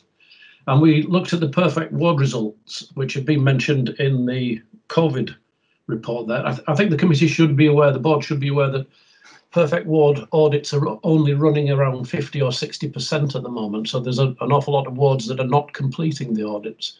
And that, that's worth noting. Um, and then when we went on to the, uh, if you go to the second part of the uh, uh, report, which was on the second discussion that we've had um, in detail. We, obviously, maternity last month and this time patient first. Um, the ADO, the ADN, several other members of the team present uh, have a very broad, very discursive, very positive discussion, I think. Uh, very upbeat, very impressed with the apparent morale and enthusiasm within the team. Um, of those bullet points that are listed there, I, I pick out three to bring to your attention particularly. One was that because we'd had this a little bit of concern about uh, missed fractures at uh, DMH, um, concern had been raised about uh, consistency across um, uh, the care group, and it was good to see that the development of joint governance structures and exchange of good practice uh, that was taking place there. Um, it would it was noticeable that the team um, were very complimentary about their engagement with executive members, and uh, they were very um, complimentary about the ease with which they could get access to executives and they could get answers and decisions at short order. And finally, um, the, the, I think it's quite important that the uh, that the care group is is looking at modelling, reviewing its position uh, with respect to the new holistic indicators that are emerging that will probably replace the four-hour wait indicator um, to see how we would compare if that position was in place at the moment. I'll leave it there, Chair, unless there's any questions. Oh, that's great, great. And thank you for the update to do with maternity as well. Really helpful. Any questions, observations for Michael? Paul, um, obviously I was at that meeting and I, I, I, would echo what Michael said, it was excellent.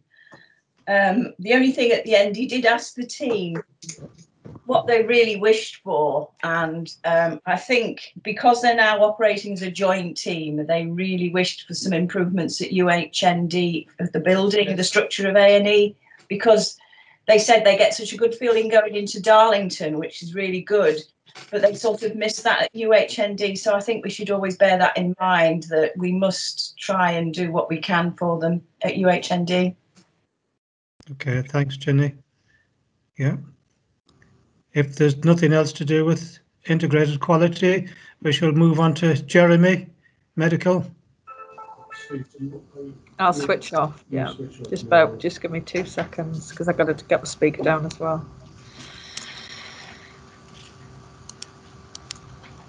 Excellent. Right. Thanks, Chair. Um, so I've got um, two items to discuss. First is workforce, uh, and then the second is mortality. I'll obviously we can have a gap in between so questions can be answered. Um, thought it was appropriate just to give uh, a more detailed update on what we've done with regards to workforce, uh, with a couple of examples. Um, uh, I was reflecting it's four years since I started as medical director, so there's been a lot of water under the bridge and a lot of change with regards to recruitment. Um, my overriding impression of this is that uh, it's been very much a collaboration across all the executive to get where we are, which is in a much more positive uh, situation than we have been um, uh, four years ago. So, um, if we just uh, I suppose really start with the, the two examples. The first would be the advert uh, that we put out last summer um, to increase our number of consultants by 19 in the medical specialties.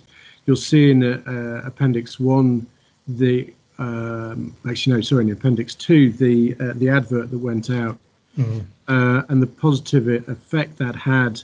Um, I know, for example, that uh, it was up in the uh, various coffee rooms in James Cook um, uh, for quite some time.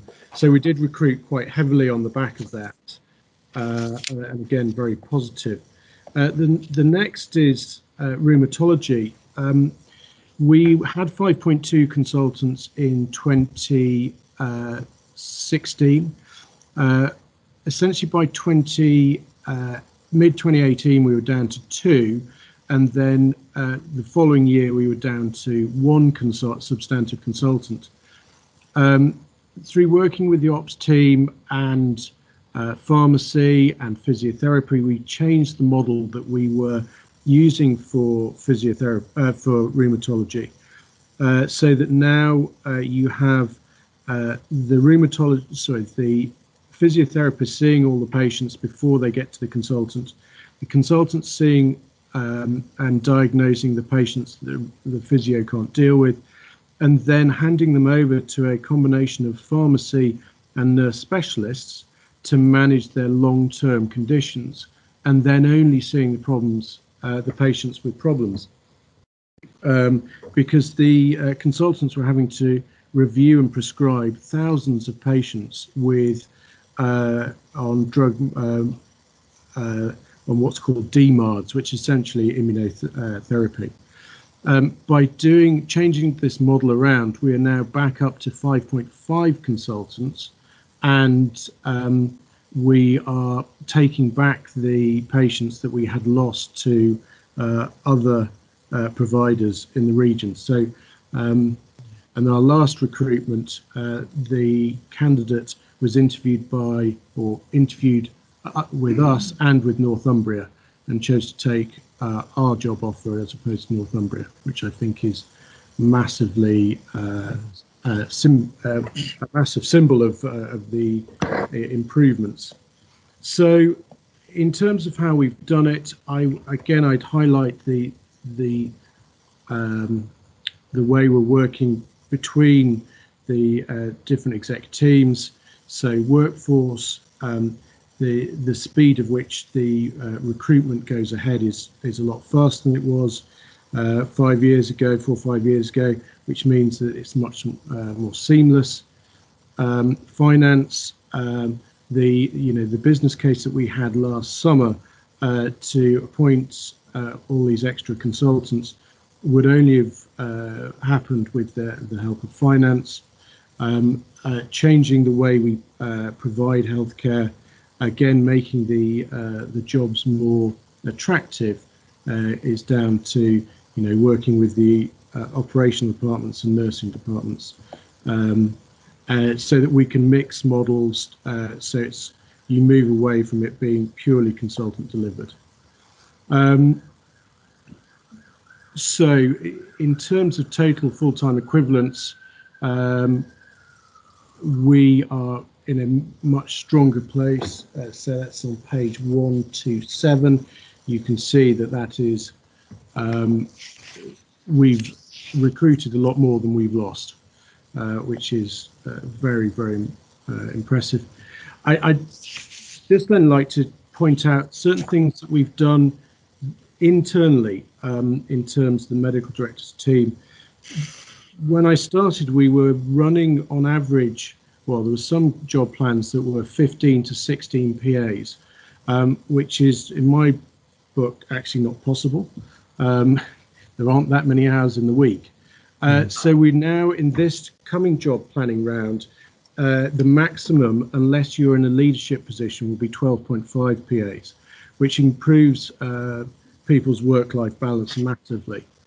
Um, the use of Teams um, and this kind of uh, virtual communication has made a big difference to our ability to communicate um, both to the clinical leadership and also to the rest of the consultant workforce, um, which has made engagement um, so much easier um, because people can have this sort of communication uh, at home because of the pandemic, we've made all SPA or supporting professional activity work uh, possible to be done at home rather than mandating it to be in the workplace. Um, again, that's made a, uh, a real improvement in the engagement of the, the workforce.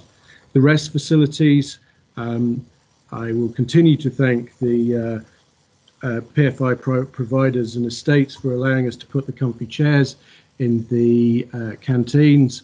Uh, any of you, when you uh, get the opportunity of coming into the trust, uh, want to see um, multidisciplinary uh, working, just need to go into the canteens and look at the different staff groups that are availing themselves of those rest facilities. Um, and then finally, as was discussed, realistic establishments. What is it actually that we need to do to provide the healthcare that we're aspiring to have. And again, that goes with having uh, appropriate business cases and expansion, especially in the medical uh, specialties, so acute medicine, A&E, um, uh, and uh, cardiology, respiratory, endocrinology, and gastroenterology. So, uh, a positive story that I thought you should be aware of. The, the, so, what's next? Well, I think obviously we've got to reflect on what we've done well, where we have further areas and focus of uh, concern, um, and certain specialties such as uh, histopathology uh, do need to have some focus work to improve things. And an area where we've not had success is in the CESR route to consultant. Um, so there's a traditional route where you go and do higher, higher training. Um, so you do foundation training, uh, core training, then higher training, and then uh, you get onto the specialist register. The alternative route is called CESR, um, which is where an individual creates a portfolio and then sends it in to the GMC for them to assess whether or not you are on the specialist register. We have had some people who've gone down that route. It is incredibly onerous, um, but we've also appointed various uh, locum consultants with a view to CESR. By the nature of the fact that those pay, uh, those staff are going to high pressure specialties, because we haven't been able to recruit, hence we're doing this alternative route, they tend to concentrate on clinical work and don't spend the time, even though we put it in the job plans, uh, doing the season work. So we are not as far advanced with that as I would like, and that's the, the next thing to look at. So uh, any questions with regards to the workforce paper? Thank you, Jeremy. That's a great positive story. Any questions, observations? One from me, Paul, please. Yeah, thanks, Steve.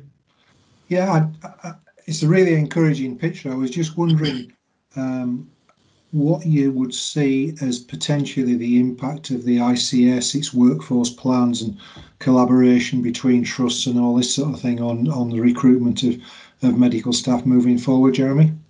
So uh, it's it's a question I'm asked uh, by every potential candidate. Uh, shortly or prefaced by is the trust splitting up?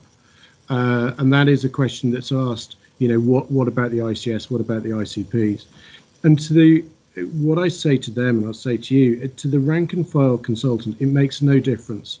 We will continue to collaborate and um, uh, work with partners as appropriate, and we'll continue to do so uh, no matter what the changes are with regards to um, ICS, ICPs, or whatever it is. Collaboration on a pathway basis is absolutely the way forward. Um, the fact that we're all now on block contracts as opposed to P uh, PBR means that we have to uh, quality improve our way out of problems and also work with other providers uh, in a non-financial way to improve pathways. And as I say, for the most of the um, medical staff, it will make no difference what the uh, regional situation is. And it's certainly not hampering our ability to recruit. Good, thank you. Okay. if there's nothing else, Jeremy, we shall move on to mortality. Thank you. So, mortality, um, a lot of things going on. I, in the simplest terms, our big areas of concern are our SHMI, uh, which is, as you know, we're an outlier, and that is demonstrated in the uh, in the papers. Um, we are doing a number of things to mitigate that.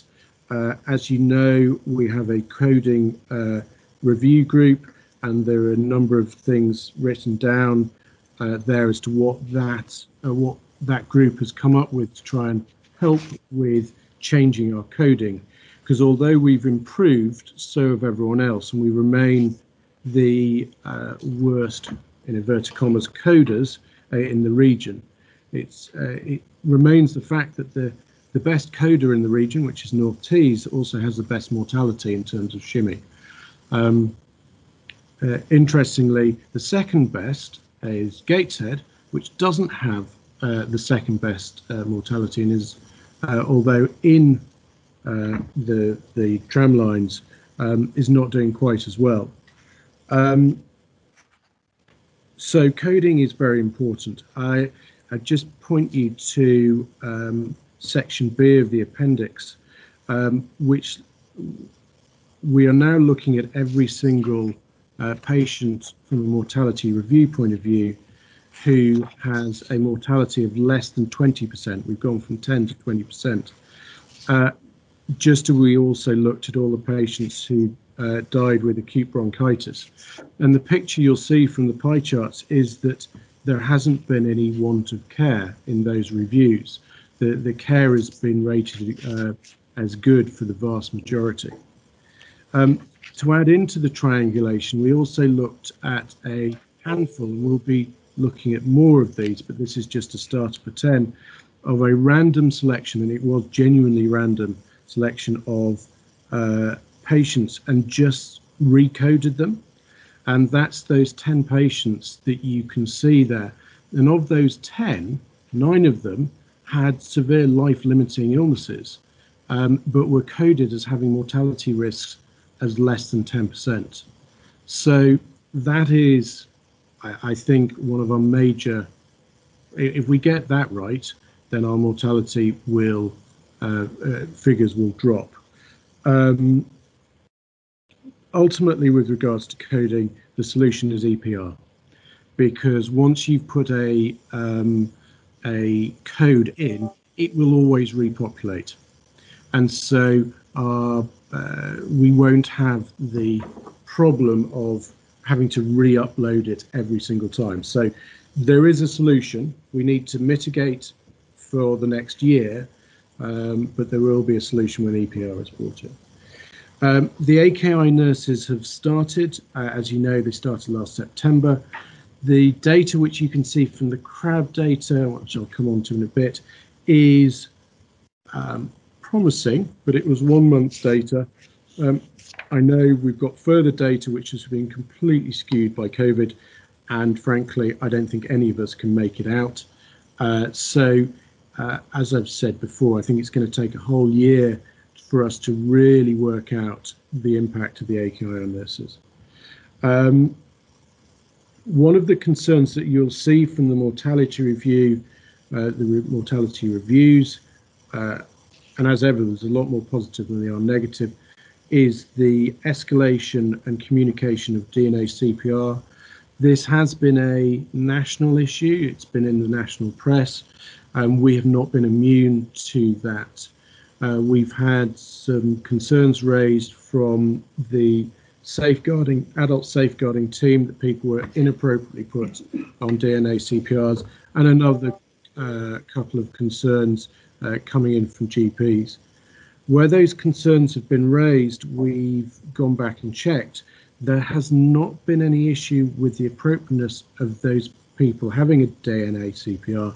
The issue has been with regards to communication and actually due to handoffs. So because our speed of flow through the A&Es and AMUs is so much greater, the AMUs aren't having the time to have the appropriate discussion with the families and the patients and are expecting the um, back of house to have those conversations. However, the back of house have thought that the front of house have had those conversations. So what's then happening is that it's falling between the cracks, that very appropriate discussion. Again, EPR will solve this by putting hard stops in there you have to have had that communication and sign it off before the DNA CPR is signed off. Um, but again, we've got uh, a series of suggestions that will solve, well, mitigate that problem until EPR starts. Um, so that's it with regards to that. And then finally, CRAB data, uh, just to say that the surgical mortality and morbidity is as it should be. There was a major blip with regards to fractured neck of femur in April last year. Uh, this was uh, due to fractured neck of femur, uh, due to COVID. And if a patient had a active COVID infection and had a fractured neck of femur, their mortality went from 6% to 60%. Uh, this has been replicated across the whole country, um, and with greater testing and knowledge, patients with COVID and fracture neck of femur are being treated conservatively whilst they have an active COVID infection. Uh, you'll also see in the medical part of the CRAB data that we have issues with AKI, um, and that's leading to multiple trigger issues, but that again is being mitigated, we hope, by the AKI nurses. So that's the highlights from a mortality point of view. Again, any questions? Michael? You're on mute, are you?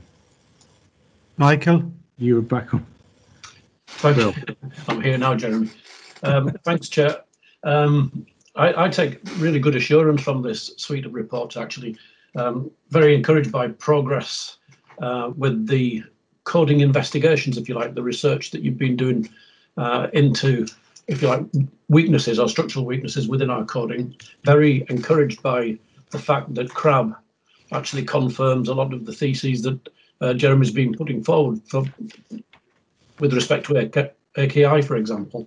And the question really is, given the fact that we've been an outlier on SHMI for such a long time, and that we've got now, as you're saying there, Jeremy, a year to try and mitigate it before EPR hopefully provides a solution.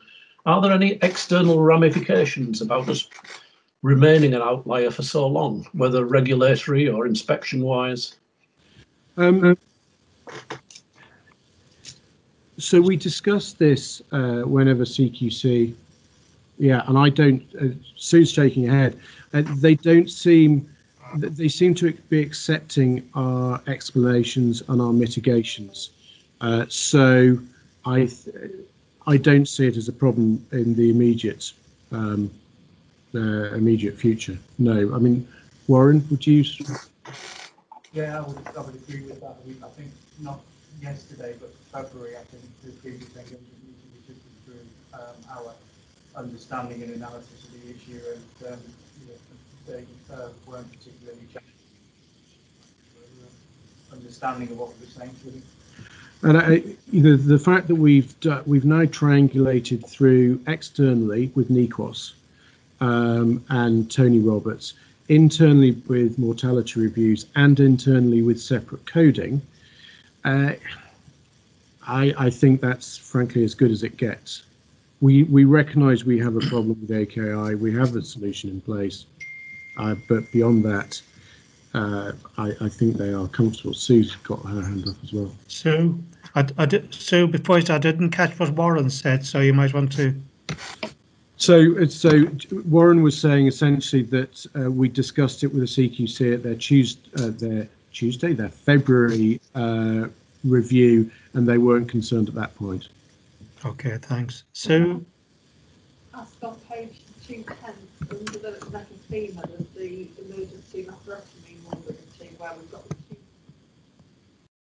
Um, uh, yes. And it doesn't really talk about them, so it rings them. It, it does mention them, but um, for the what it asks us to do is it says it's probably worth looking into, which I know you've done for fracture neck and femur. Is it worth looking into some of that because that's two peaks in, in an area where it's pretty much above the line all the way. I mean, it does dip a little bit below it. Well, yes, but it's so if you can see, it's one point anything below 1.2 is in yeah. the in the and yes, it's peaked, but it's again. I spoke to Mark from CRAB, so the peak in COVID uh, first wave which corresponds.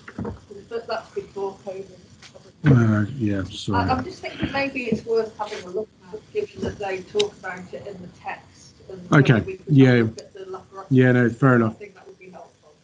We okay. obviously do contribute to the NELA data as well, yeah. so that's external insurance as well. But yes, fair enough. Well, we're, well, sorry, I'm just missing some of the communication between Sue and so, Jeremy. Yeah, but, uh, so Sue I, I, got I got the gist of it. Okay. Yeah, Jenny. Uh, it's just really a practical thing because we've been paying the charities paid for the original coding project. Um, will that be sufficient for what you need, Jeremy? Are you going to have to extend it, and how are you going to fund it? Uh, no, I think that will be sufficient. uh, to mitigate between now and EPR being in place uh, and put building blocks in place. So no, I don't anticipate us uh, extending that. Right. Okay. Thanks. Okay. Any other questions for Jeremy on mortality? Michael? Just, just one, it's just a, of uh, detail, really, Jeremy. On page 185 of the pack, which is the 2021 Learning from Deaths dashboard. Um, I'm just, I'm doing the uh, non-exec lead for mortality bit here, but um, I that there's uh, a priority review for family health way back in quarter one that hasn't been completed. And if, if you go back to the previous year, there were also priority reviews, I think, in family health that were not completed. Is there any particular reason for that? Not that I'm aware, um, but I will. Uh,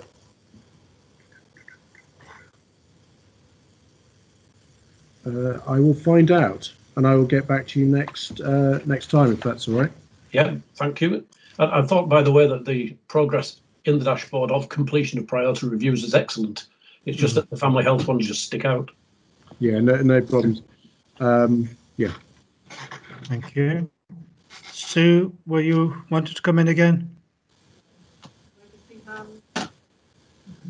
It's it's a legacy hand from Mrs. Jakes. It's a legacy, okay.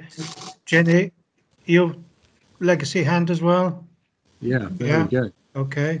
On that basis, then we'll move on to the next item, patient safety. Noel, I'm going to. I'll go on mute and.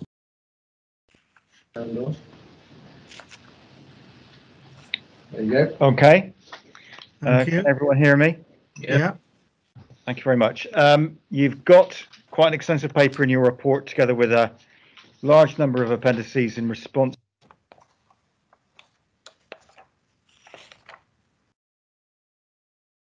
Like questions. You can see, and we've already had some explanation of the reduction in COVID-19 in patients uh, and the effect that it has had. There's some commentary around hospital onset COVID-19 cases, which have been extensively reviewed, and I'm certain we'll be talking about for years to come. Um, there's also other references to other healthcare associated infection works, such as a review of an increased incidence of aspergillus, which is a very serious fungal uh, infection, particularly of concern to immunocompromised patients um, and those that are vulnerable, such as in intensive care units or chemotherapy departments um, which uh, that review's been complete and shows no uh, significant concerns. However, you'll see further down that aspergillus is a concern at Shotley Bridge chemotherapy unit, as is Pseudomonas, uh, which is a bacterial infection associated with static water. Um, and the environment there failed audits on both of those counts recently and is in need of some remediation. Um, nevertheless, uh, the patient experience is dramatically improved. I've been to both chemotherapy units in the last seven days, um, and the nursing staff comment um, how well the transition has gone from the acute sites to Bishop Auckland and Shotley Bridge, with the exception of the induction chemotherapy work, which is continuing um, in Durham for those patients who may require medical assistance at their first dose of treatment. The National Patient Safety Strategy is appended You'll see a slight reduction in the number of complaints, interestingly. Uh, Sue's taken a keen interest in the quality of complaints response, and as a result, we've changed the structure of the template to make it more accessible to complainants. Hmm.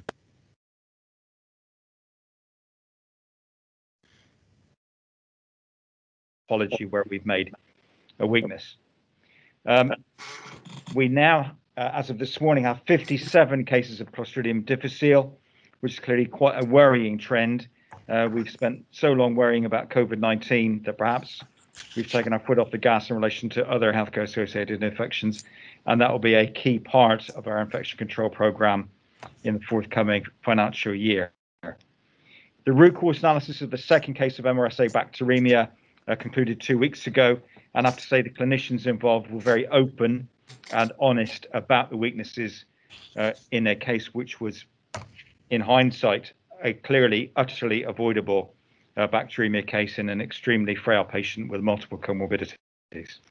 there are some new serious incidents to report to you, uh, a fall, unavoidable pressure damage, uh, a missed cancer, uh, two cases of bowel obstruction where the management was uh, suboptimal. The never event retention of foreign body root cause analysis has been delayed because one of the key players has been ill, but that's taking place this week. And there's also some commentary on a delay in treatment for a subdural hemorrhage, which may have affected the outcome for the patients.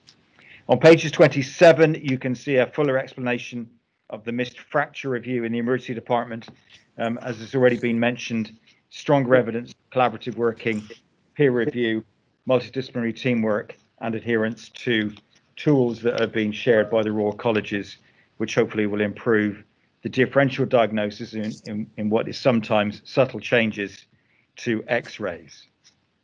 Um, the numerous uh, appendices give you an indication of the approach we've taken to uh, uh, C. diff. I think it is interesting to note that we have, in benchmarking terms, the second lowest rates in the region, but the lowest number of side rooms. Clearly, that proportion may change with the bringing on of new wards, such as Ward 7 in Bishop Auckland, which is encouraging. There is um, some reference to the previous never event uh, and the remedial action plan. Um, you asked me to comment upon the nursing structure, that is to say, the corporate nursing approach to monitoring compliance with the Mental Health Act. We have for many years had issues with the compliance with Section 132 papers, that is to say, the serving of patients with their rights when they've been detained under the Mental Health Act. Um, we do have an SLA with Tees, Wear Valleys. Um, I'm pleased to say that I've finally come around to Jenny's point of view that we should assimilate the Deprivation of Liberty Safeguards Mental Capacity Bill team with the Mental Health Act compliance team. Um, and I'm pleased to report that we've secured some additional funding um, through my executive colleagues to make that happen. That will not be the end of the story. The mental capacity bill is, be, is due to be replaced, and a consultation on the code of practice for the liberty protection safeguards, which will replace the mental capacity bill, is slated for the first half of the next financial year.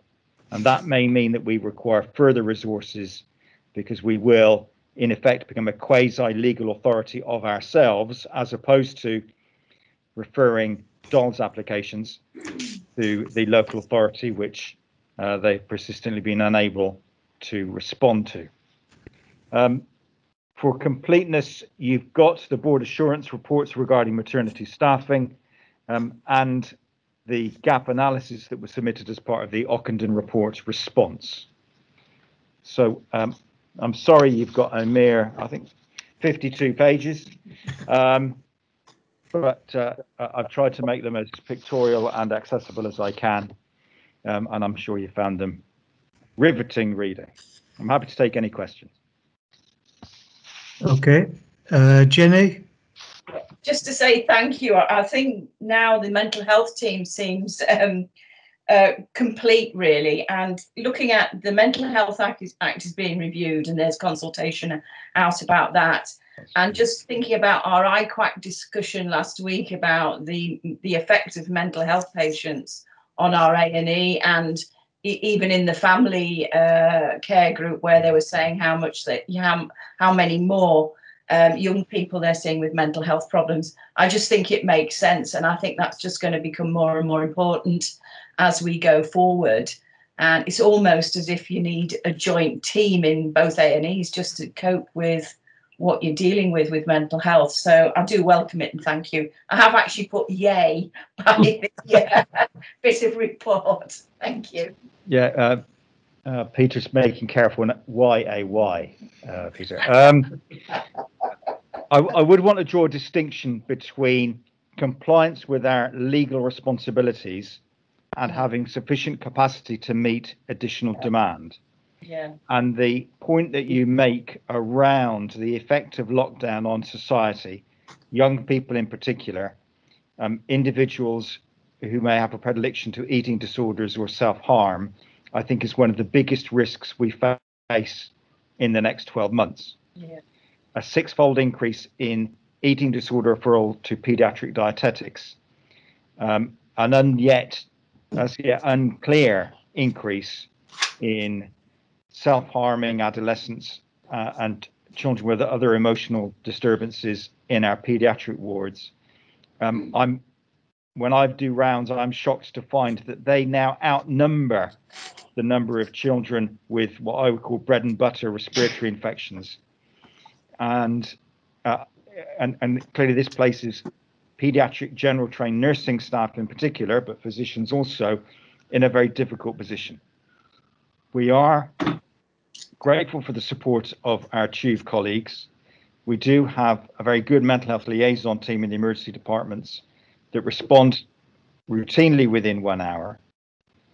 But I think the loss of 52 child and adolescent psychiatry beds in November 2019, with no attempt to replace them in the foreseeable future, only by phases 10 more beds coming on stream of a general uh, child and adolescent nature in in 21 22 I think will further um, put pressure on on the front line. And we have a perfect storm increasing demand diminishing uh, um, provision um, and at the same time uh, the further demands of compliance with new legislation which we have struggled to manage in the past. So it, it's a big issue for us. I'm very very grateful to the executive for supporting me in expanding capacity in the compliance sphere. Uh, but in the area of provision, I think there's uh, rather more work to do. Uh, I do get very good support. We have very good relationships with uh, but if I'm honest, uh, many of their issues are also around workforce supply and securing enough great people to to help manage these very difficult children and adults um, has been a persistent problem nationally. Okay. Um, and uh, I don't even want to go into uh, some of the regulatory issues, which I'm certain are being picked up. But I've not really had any discussions with commissioners on on any of those aspects. Thank you, Noel. Thank you. Michael? Thanks, Chair. It's just with uh, respect to complaints closed with extensions. Um, Malcolm reported at IQAC that there'd been a, a 50% jump in the number of complaints closed with extensions in January, and I think he's going to look into the reasons for that. I wondered if he'd managed to dig something up. And the other question was very, very simple one. Um, could you explain what the traffic light system with respect to water jugs is uh, for ah. the initiative on improving fluid balance? Okay, so um, I'll do I'll do the simple one first. Um, so traffic lights with water jugs. Um, we want patients to drink plenty in order to hydrate their kidneys. Um, if we have different color tops to the water jugs, red means you've had your first liter of water, amber, your second liter of water, green, your third liter of water. So it's a means of encouraging patients to drink more with uh, visual reinforcement and an encouragement to staff to help patients drink plenty, but clearly not too much in those patients that are fluid restricted. Um, that was what was the first what was the first question again? Sorry? It, it was the, the fact that we'd had a 50% rise ah, in the number yeah. of complaints closed with extensions in January. Yeah, I, th- I think it's a combination of factors. Um, clearly, the redeployment of staff into the front line um, means that individuals may not be necessarily familiar, perhaps may not be uh, uh, as easily able to communicate any queries uh, and resolve misunderstandings uh, at ward level. Mm. redeployments have now uh, ceased. Almost all staff are back to their day job as of 22nd March. The only exception to that being uh, a few staff in the intensive care units where complaints are relatively rare, I would say. So I'm hopeful that that is being responded to. I'm dealing with requests for complaint extensions and a more stringent approach to monitoring of complaints timescales um, almost on an hourly basis. I've dealt with three this morning during this meeting. Um, so I'm quite certain that that is being addressed and where we are letting down complainants in relation to an agreed timeframe to respond, we are communicating with them directly. And very often it's because the complaint is complex, may involve one more than one department, and in some cases more than one agency. Uh, and clearly, if when we pull the complaints response together, so uh, there was one, for example, this morning that was a request for a third extension, the composite complaint response was contradictory. Departments didn't agree between themselves as to what had happened and why we had we'd um, let that patient or their family down. So all of this makes um, responding in a timely fashion slightly more difficult, but I'm confident we are making progress. Thank you for. Okay. Thank you, Michael. It's just a thought, Noel. Obviously, you made reference to Tees and Wear Valley, and they have their own problems in recruiting staff. Indeed. But I just wonder, would there be an opportunity to try and recruit in our trust dual qualified staff? We are a rare breed, as you know, but uh, those that are general trained and mental health trained, particularly around our A&E departments. Yes, um, I haven't I had that conversation to see if you're available, Paul. Um, but uh, as as you say, we do visit it occasionally. Um, some of the issues in relation to our current dual qualified staff, by that I mean paediatric and adult trained staff, Mhm. is maintaining their competence and Yeah. having sufficient demand of work. It's either feast or famine. Right. Um, and I would imagine we'd have a similar issue in in mental health. I Mm. think there is, however, room to have that discussion in paediatrics, which we've never had before. right. Um, so uh, I think we will look at all of those opportunities. I think the Right. broader issue is around the competence and capacity of our general nurses and doctors um, and our pediatric nurses and doctors in particular, um, Okay. and availing of the outreach teams that do support individuals in the community through in the in, in the CAMHS and mental health liaison service and see how if they can share some of the tools and techniques in managing some of the, those rather troubled uh, young people. Um, Okay. and, and that's one area that I'm, I'm very keen to look at. Thanks, Noel. In terms of the NHS Patient Safety Strategy 2021 update, it's quite a comprehensive document and obviously it needs some working through in terms of the standards and requirements and so forth. So who will be the person that will take the lead on that? Because it's a huge task. Um, it, it is a huge task. Um, included within it is uh, a requirement to appoint a patient safety specialist, and that is the person of Lisa Ward. You'll be aware that Joanne Todd retires today. Uh, Lisa Ward takes up her position. You'll see from the restructure that Lisa's responsibilities are slightly different to Joanne's. She will be the patient safety specialist and the chief nursing information officer, which is part of the EPR business case. So we'll assume that that piece of work, which will require further training um, and and a broader approach to networking. The emphasis are around forensic investigation as opposed to collaborative peer review and root cause analysis is quite an interesting one. Um, but it, on account of that of those changes, the responsibilities of the rest of the team will also change, uh, and you'll see that um, the tissue viability back care service and moving and handling service. Carol Johnson will lead with some enhanced responsibility, and Tom Jakes will take exclusive responsibility for infection prevention and control, uh, and has been promoted to an associate director of nursing. Oh, that's that's great, and that that part doesn't because I was going to ask on the nursing structure where Tom Jakes actually fits in in terms of lines of responsibility, but you've you've just answered that. But Clearly just on that structure on page three four three, Lisa Ward appears in two places. So has that structure got to be updated, or is this it? That that that is accurate. If I've if I've confused you with the presentation, that's because um, her responsibilities are are broad, and she may need to have appeared in more than one graphic. But uh, Right. that, that is correct. Okay, that's great. Thanks, Noel. Any other question for Noel on of the multiple papers we've received from him? No. On that basis, then, thank you, Noel, and we'll move on to Carol, integrated performance.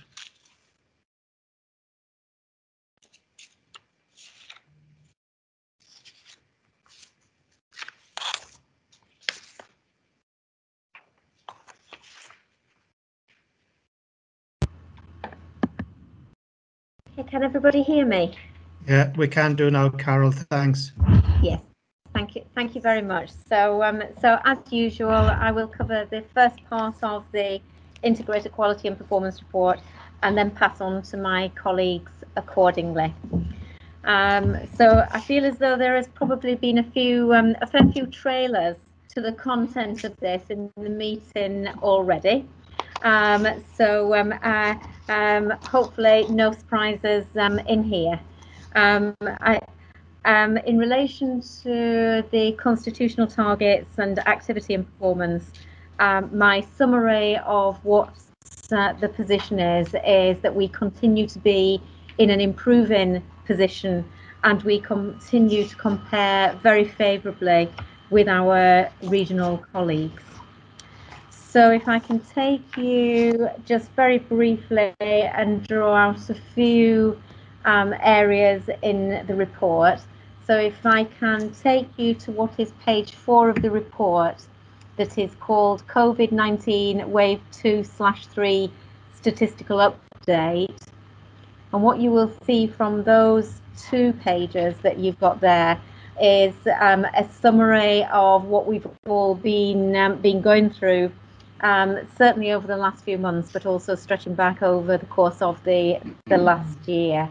And uh, and a number of the points that colleagues have already made are there graphically illustrated for you, so that you can see what the predictions were, what the actual experience was, and also what um, what our activity looked like at various stages along the way, according to a number of measures, um, uh, including number of cases, number of admissions, both our deaths and also our discharges, and also an age distribution, um, which um, which hopefully adds a little bit more flavour to um, to the, the discussions that we've been having so far.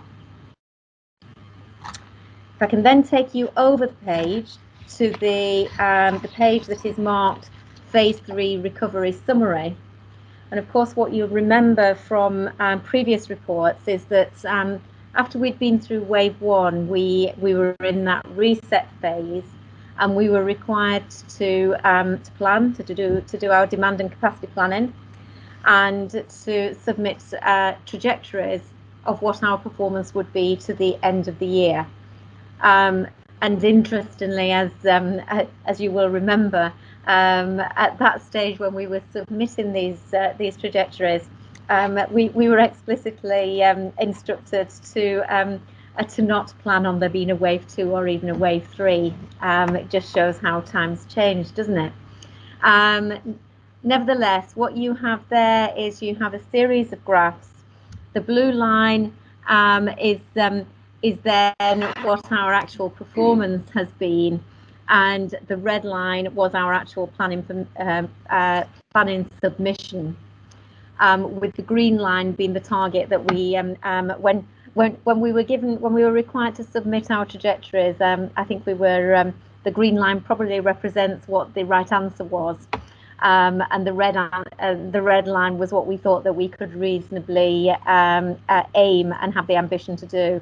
And what you will see is that um, our recovery was, um, was, was trundling along really quite nicely up until November, December, and the early part of this year. But what you will see, and I'm very pleased to report that during the last month, you will see that um, uh, our recovery that Sue mentioned earlier on in the meeting, um, uh, we've got a definite uptick there. Um, and indeed, what you will see is on quite a number of our planning trajectories that we submitted, we've already exceeded in terms of performance in relation to that. We did receive the long-awaited um, operational planning guidance for um, for this next year only last Thursday, I think it was. Um, and in that, there are um, as usual, there are a number of requirements set out for when we um, submit a, a, refreshed version of these to cover particularly the first six months of next year, um, but looking to in, within the context of the, the whole year. Um, and we are working on those at this particular point in time, which will pick up from from these and um, uh, and also take us um, into and link up with the business plan that we have for next year. So, so having set that context, then um, just pulling out the particular areas um, and um, and just very briefly drawing your attention to um, so the A&E performance. Again, we've mentioned it earlier on in the the meeting. Um, there was a, a headline mention in the um, in the uh, COVID report earlier on in the meeting. And what we had seen is we'd seen a gradual return to the, the levels of demand that we were seeing pre-COVID, um, which were putting pressures on the service in the context of still de um, dealing with the um, the COVID response within the hospital. And so consequently, we'd seen our four-hour performance uh, start to um, start to dip, and we were running at around about at our lowest point, we were um, running at about 80%. If I can just then pick up on the point that Michael mentioned and IQAC and um, and the commitment and enthusiasm of the team. So um, even though people, I think, um, have have been um, particularly challenged in dealing with the um, the COVID response from from wave three. Um, nevertheless, the, the team have bounced back and um, and and have picked up the challenge again of all of those initiatives that um, I, have certainly briefed you about over the years now that we know make a difference and um, and getting in and working with the staff, particularly in the ED department and AMU, about um, about then um, enabling patient flow and really um, uh, keep keeping a tight grip on the management of, of patients as they flow, flow through the department. And, um, and so what we have seen is that during March, we've seen really some very positive results from that. Um, and um, and we, um, as, as I'm sitting here and speaking now, we're at about 90% for, um, for March in terms of performance which is a good position for us to be in because actually that represents a much better patient experience um, as they uh, as um, as our patients then flow through our hospital. What it also is a good um, position to be in is um, we have long trailed with you, and indeed it has already been mentioned um, once already in the meeting today about those new emergency care standards that will replace the four-hour um, standard. Um, and to, to know that we are working in an efficient and an effective manner then provides us with a really good baseline for what is going to be a trial period for the beginning of this year and again was flagged up in the operational guidance of those new standards um, which include time to assessment and and, um, and a few other areas. So um, um, so I'm, I'm pleased with where we've got to because I know um, and uh, um, and I know I'd said in IQAC last month that I was disappointed in where in in what our performance in A&E um, had dropped back to. Um, I'm certainly much more comfortable now with where we are and and and where we and what it is that we can do and what is right for our patients as well. Um, so then just very briefly, if I can then um, move on to the elective program. So again, been mentioned earlier in the meeting. Um, we started our we started to step up our elective program to coincide with um, that context that I've already talked about. Once once we saw the number of COVID cases starting to come down, we were then in a position to know and and judge when we could start standing up our um, our elective activity. And again, I would want to reinforce that we never stopped our um, urgent emergencies and cancer cases. Um, the uh, the elective program that we were standing up was then more to do with the less urgent and those people on our waiting list, and particularly those people who had been waiting longer periods of time where their clinical condition meant that we needed to um, uh, expedite their um, their care. So we we were able to um, step up the elective program. We had to judge that because whilst we were were seeing reductions in the number of patients on the base wards, we didn't see a, as rapid a decline in the number of patients in our um, critical care beds. Um, and, um, and of course, our critical care capacity was using staff from our theatres. So we had to judge it very carefully about how quickly we could step up that elective programme. We have done that now, and as you will see, as you will have seen from that context that I showed you of the um, the recovery trajectories, what we are looking to do, and and in the ongoing planning, is um, to the to the best of our ability, um, get ourselves up to our 1920 uh, level of activity um, as soon as it is practical and feasible to um, to do that. So what you're then seeing in terms of the constitutional standards um, is that you are seeing um, a, a, gradual improvement, a slow step-by-step improvement in our RTT. You were you are seeing um, a continued um, eye-watering large number of people that are over 52 week waits but our planning that we have done and are refining as part of that operational guidance um, submission that we will need to do looks to us um, managing and as I reported last month at the board when we looked at this in a little bit more detail um, we uh, are looking to get ourselves into position where there will be no over 52 week waits by this time next year we will then use the year after uh, um, in order to be able to then improve on our overall RTT position. And as Sue has mentioned earlier, I'm part of a Chief Operating Officers group across the region, um, and uh, and that that puts us um, amongst the best in the region. Um, there are um, a, a few trusts that will not be able to that forecast that they will not be able to get to that position for some considerable period of time. Um, but all things being equal, that is what our planning is um, is is looking like. Um, I'll pause there because I can see that Paul Paul Foster Jones, Jones has put his hand up. Paul. Nothing. Oh, it's not right. Okay. Okay. Um, and then just just then briefly finishing off what what I have to say about this.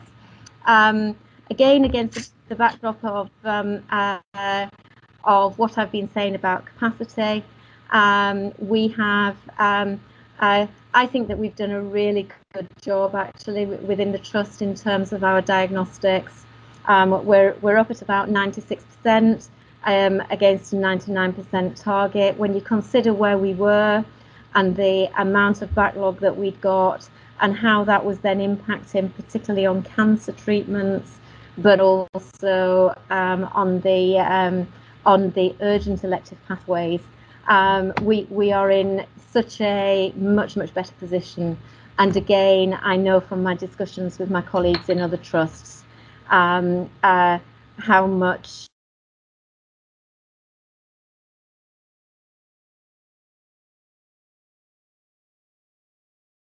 there you go, I've said it.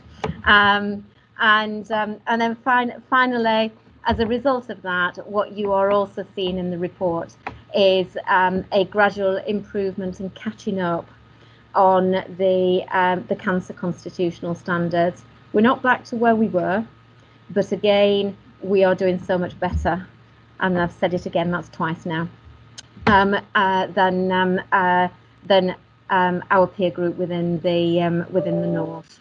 So, um, so generally, um, generally, I, I think quite a positive position, but we are not complacent, and there is an awful lot of work to do, and um, and I'm I am very much aware that when we are doing this and when we are setting these um, uh, these trajectories for what we do next, all of that discussion that we have had earlier on in the meeting about um, staff health, well-being, tiredness really comes into play with all of this.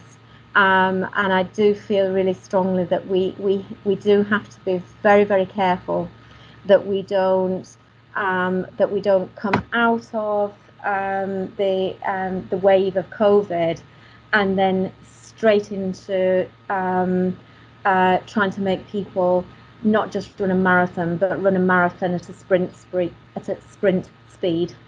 Um, and, uh, and, w- and we just have to have um, a mind to that. Um, and, and I suppose my concern would be that whilst we as a board and an executive are very much aware of that, um, I, it, it, does concern me in terms of um, um, operational planning guidance and other things that uh, that may come down um, uh, from people and organisations that haven't necessarily been involved in um, as closely with that frontline COVID response. And on that note, um, before I, I, before I say more than I ought to really, um, I'll I'll pause pause there, Paul, and take any um, uh, and take any questions before I hand over to um, Noel. Any questions for Carol? I don't see any hands, Carol. So thank Oh, you for Paul- that. Paul, Paul Foster Jones has, um, Oh, has waited. Paul, yes, he has. Yeah, Paul. Thank- Thanks, Paul. Th- Thanks, Carol. Um, I mean, I think you know you, you, you can pick in pick fault with specific KPIs in there, but the general picture, as you as you outlined, is is is tremendous. And given where we were six or seven weeks ago to where we are now, I think the whole the whole situation is to be commended and and and, and almost congratulated for the, for the trajectory and the and the and the rate of progress that's been made. But, but talking to your last point, I'm I'm very conscious that you're walking a tightrope between reducing waiting lists and keeping staff in post and not burning them out. Uh, what what sort of safeguard, practical safeguards are, and, and I know that it's an aspiration, but what sort of practical safeguards are you able to illustrate to us that that those sorts of balances are being maintained? I, I think, Paul, I think it's the things that we've already talked about in the earlier part of the meeting, um, and the, um, uh, the the trims work in particular. I think is particularly key um, key to that. Um, but the whole raft of um, well-being um, initiatives that that we've put in place um, will all play their their part. And, and and for me, it's something about being aware of it, being vigilant to it, and also being responsive to it at all levels in the organisation.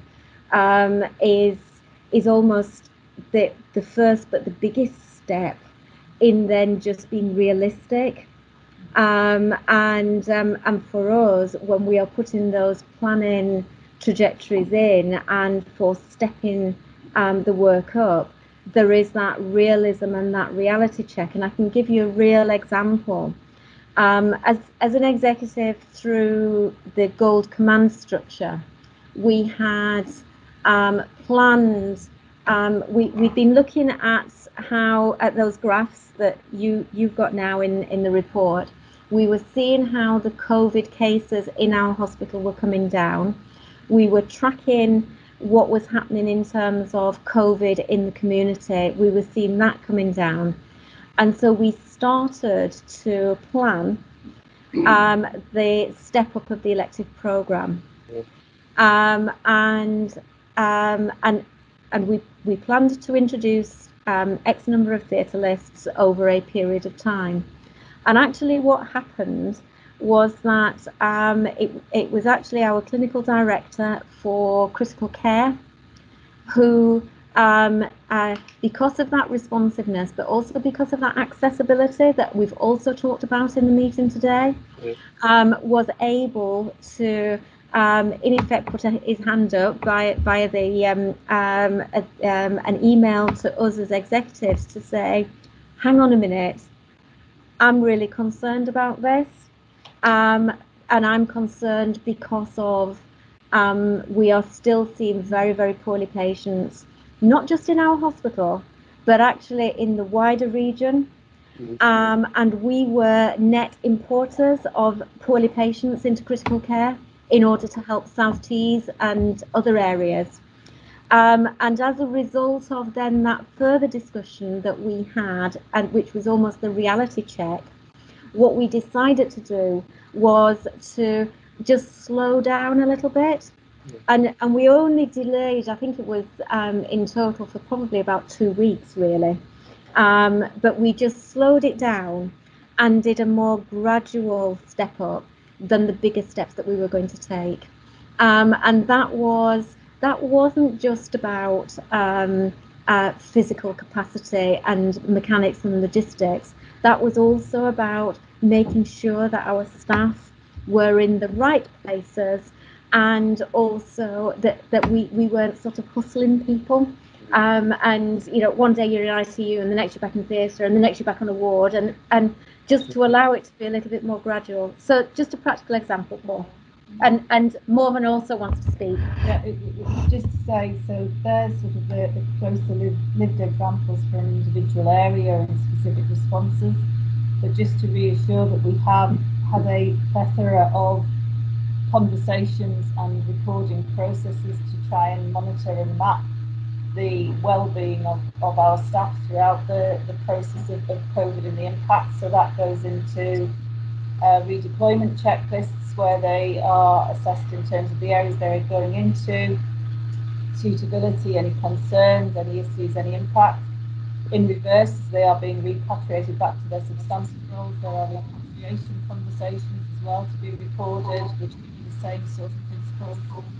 And then in addition to all of this, we've obviously had extensive risk assessment conversations being undertaken with all staff and furthermore a wellbeing conversation which you'll recall is in line with the people plan that's being undertaken and conducted. All of these are not just one-offs, they are as and when required and can be conducted as, as regularly as needed.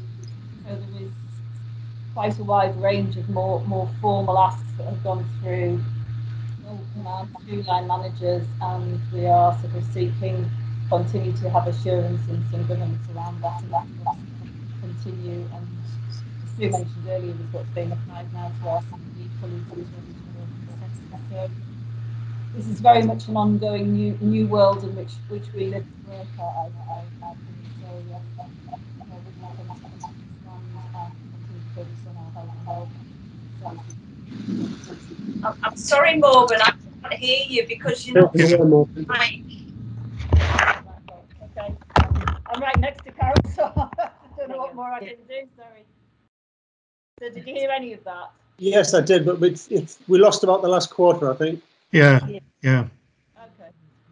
Well, most of that was just highlighting all the formal conversations that have been initiated and the support that we're giving, and also our continuing um, commitment to engaging with as, as positive and proactive health and wellbeing agenda as, as we reasonably can given our resources.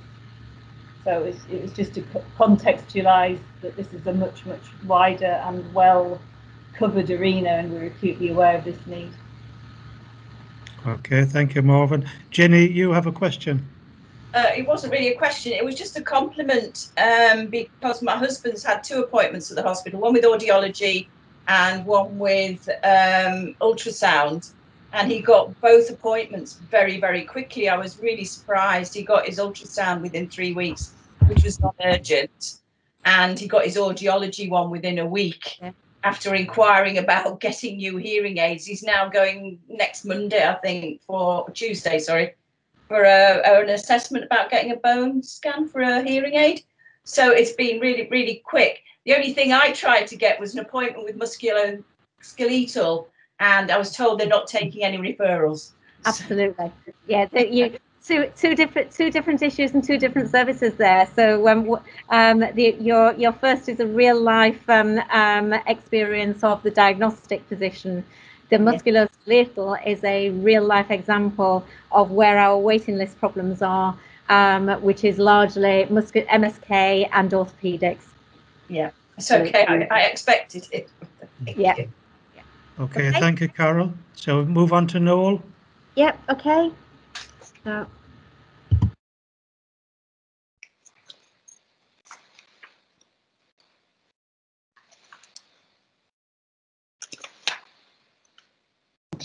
Uh, yes, you can. Is that okay? Yeah. Um, Yeah, we can hear you. Yes. Um, so you can see our overall staffing position um, is indicated there. Uh, there are a number of quite pressured hotspots. This is clearly the report for February before the redeployments took place. Um, Ward 6 um, at Bishop Auckland has had to reduce beds because of less than half staffing. Uh, and we've had similar pressure points, although not quite as extreme in wards 5 and 6 in Durham, also wards 12 and 15, uh, and to a lesser extent at Weardale, where cross-cover arrangements have mitigated those risks. Uh, but nevertheless, that is in the context of 314 RN vacancies, which is quite an extreme position before we take account of the new budgets, which David will be announcing in the next couple of weeks, which may make that appear somewhat worse. Um, 86 healthcare assistant vacancies. One should bear in mind that we're nevertheless aiming for zero vacancies, and we have 120 um, shortlisted candidates for position, um, and in large part that's being supported by central funding for what's been called new to care uh, healthcare support workers, um, and that includes um, education, orientation, and pastoral care. So um, we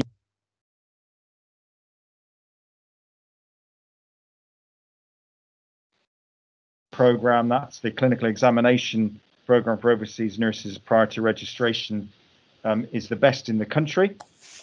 I'm pleased to say, and the whole of cohort one has now passed, uh, and cohorts two and three are well on the way with uh, well over 70% pass rates. So that's very encouraging.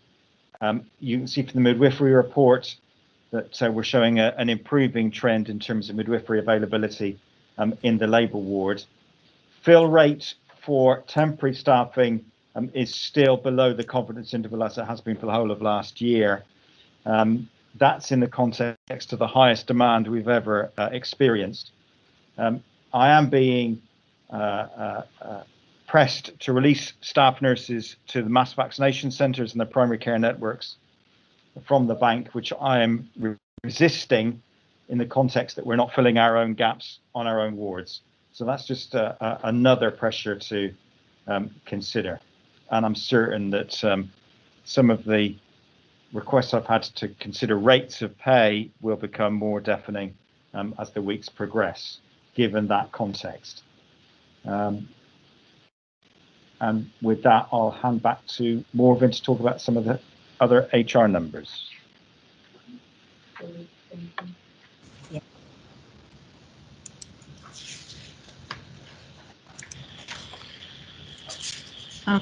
Okay, can.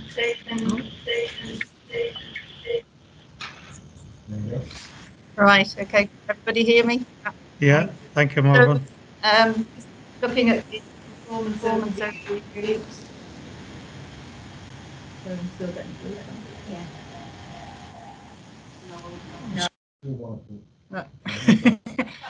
yeah, we, we're not we're not that slick yet. That was, I'll hand over. That's a lot better, hopefully.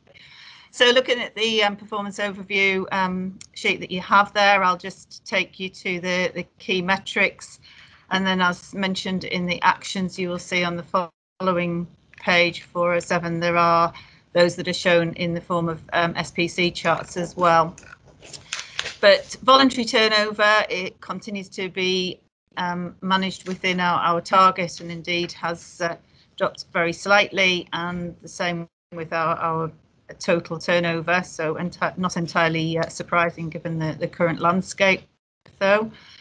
Um, with regards to absence, we uh, are dropping, um, but obviously there are different elements to our, our absence percentages, so some impacted by COVID, some impacted by um, specific reasons, and we're picking up those COVID related ones versus our normal reasons for absence around MSK, but also substantially around the mental health coding. We have had support from um, a redeployed HR team since January, which was running until today in terms of helping the line management of uh, absentees, predominantly anybody due reporting a stress related reason for absence. So they were picked up at the earliest opportunity, i.e., day one uh, to ensure that they were being directed to appropriate resources and made sure that any appropriate help support that was required could be given to try and effect the least absence that could could be facilitated.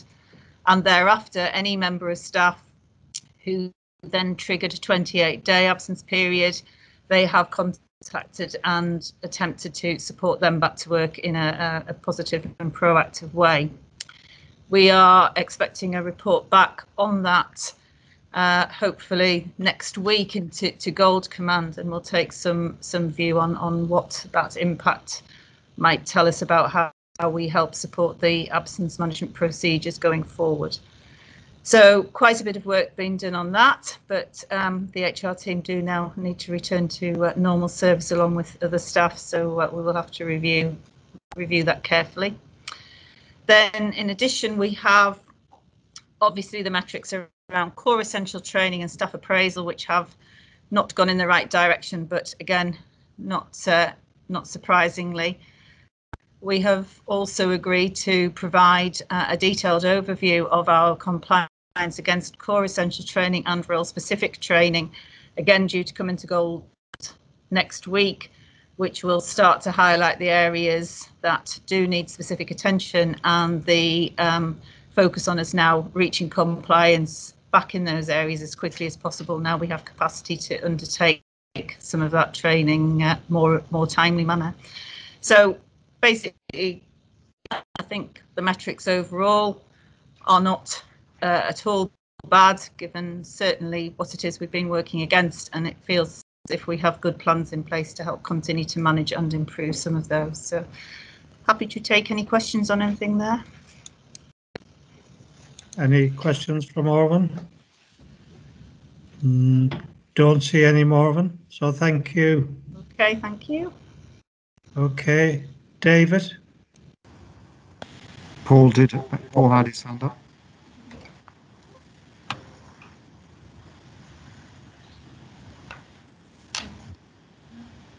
No, shall continue? Maybe not.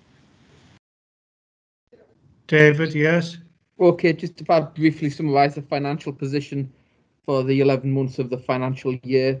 Um, obviously, quick recap, the first six months of the year, we basically operated under a, a regime where we, in essence, reclaimed what we spent. For the second six months of the year, we were obviously allocated a financial um, envelope to live within.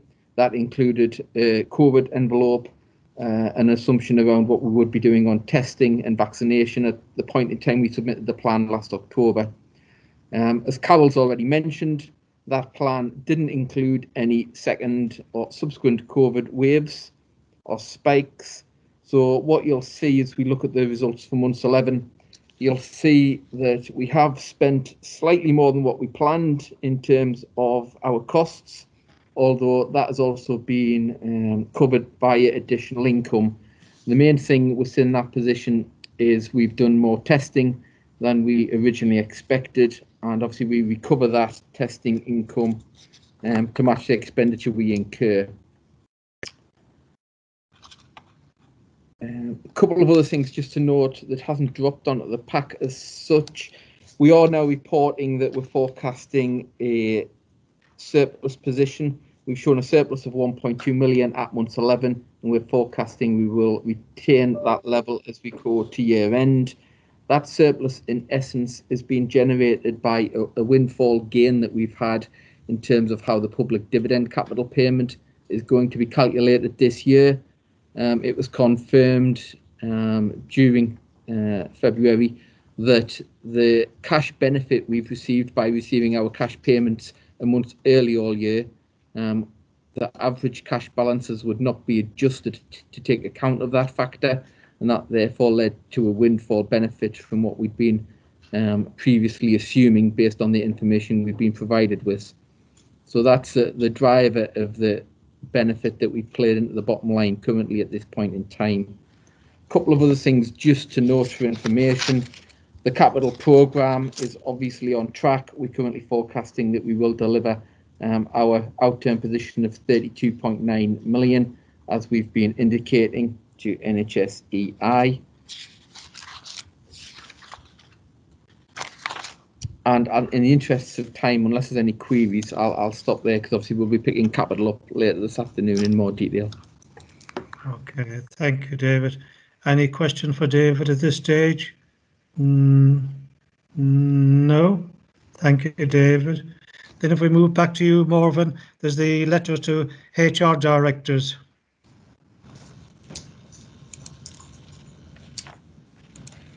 Yeah, okay, so um, hopefully can cover this one off quite briefly. So there are a number of letters that span nearly two years now, uh, initiated by the Dido Harding review of um, the very unfortunate case of a suicide during suspension.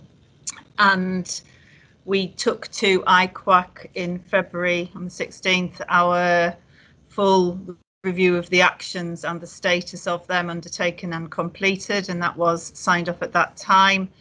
That submission also included the reference to the letter around the Imperial College disciplinary procedure, which again we reviewed against our own revised disciplinary procedure and confirmed to IQAC that we had met and indeed some instances we felt had um, improved on some of the, the points within that procedure. So it was not felt relevant to do anything further. So we had already undertaken a review of that process following the, the Dido Harding review anyway. So the full action plan, etc., was included into IQAC in February, but obviously we only had a private board, so the the overview was submitted, but the detail is included in IQAC, so that is all completed now and covered off. However, I would obviously say that we will continue to review from a, a continuous review process anything that we can improve on as as and as and when we go. So uh, clearly, it's not a, an end to it. We'd like to think we are always keeping up, if not ahead of what we should be doing. So hopefully that uh, provides assurance around that point. Absolutely, yes. Any observations or questions for Morven? No, thank you, Morven. And uh, finally, Warren, the Trust Board subcommittee structure. Okay, thanks, Paul. Um, hopefully everybody can hear me. Um, so this um, obviously follows on from the discussions that uh, we've had in committees and as a, a NED group and previously at board in terms of future direction of travel. Um, we've previously agreed that the rationale for finance committee as it was in terms of supporting financial recovery has gone uh, and that we want to move uh, IQAC in the direction of seeking assurance not only over quality as is, but in terms of quality strategy and continuous quality improvement. Um, I think it's fair to say that IQAC has, has trialed that approach in terms of um, the maternity discussions and the patient first discussions, and that's gone well. Um, we have had the opportunity to look at what this means at IQAC previously and what it would mean for terms of reference.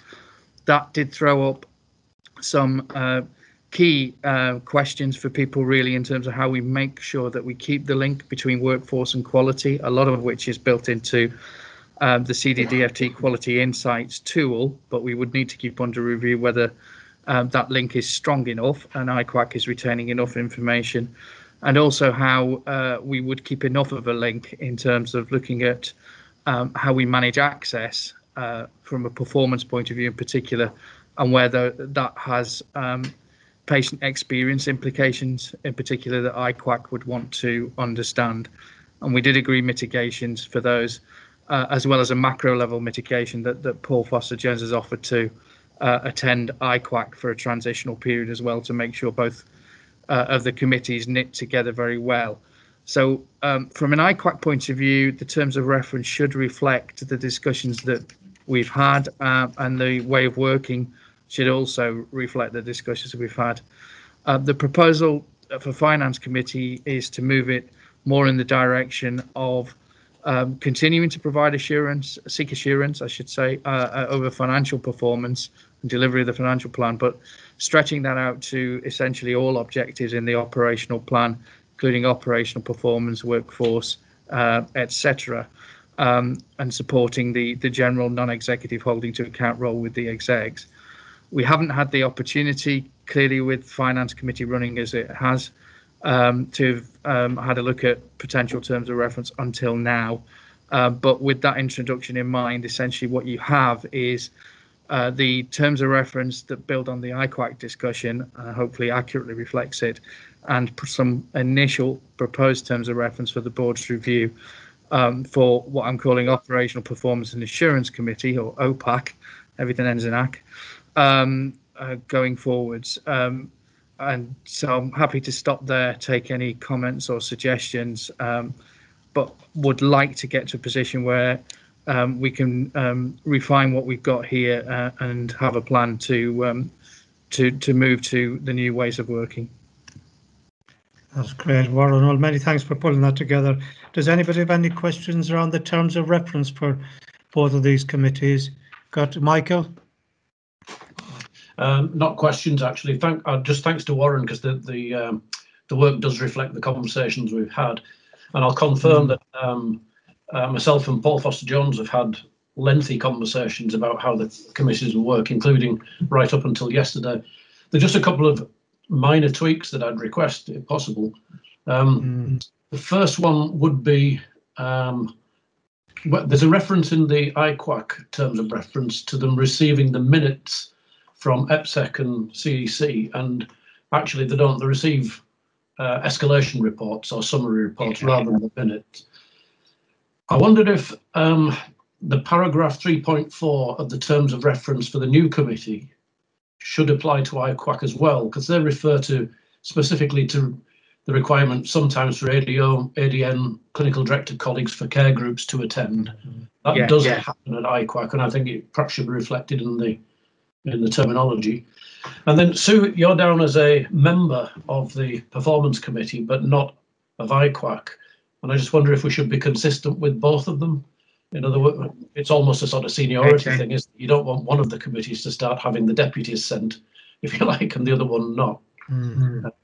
And the last last little bit is, I think, um, one thing that I'd quite like still to be on IQAC's uh, agenda that I hadn't thought of before is the area of revalidation appraisal, um, because that's got such an impact on uh, patient experience. Hope they're helpful. Yeah, I Yeah, think I I think that's consistent with the discussion that we had around medical education remaining with I, IQAC as well, because it's sort of skills for quality, essentially. Yeah. That's great. Thank you for that, Michael. Anybody else got any additions, observations? If not, well, this is a great progress in terms of where we're moving to and aligning our committees and the overall assurance for the board. So thank you, everyone, for that. So if there's nothing else, uh, item 12 on the agenda is just to exclude the public. Uh, not to whether do we do have any members of the public.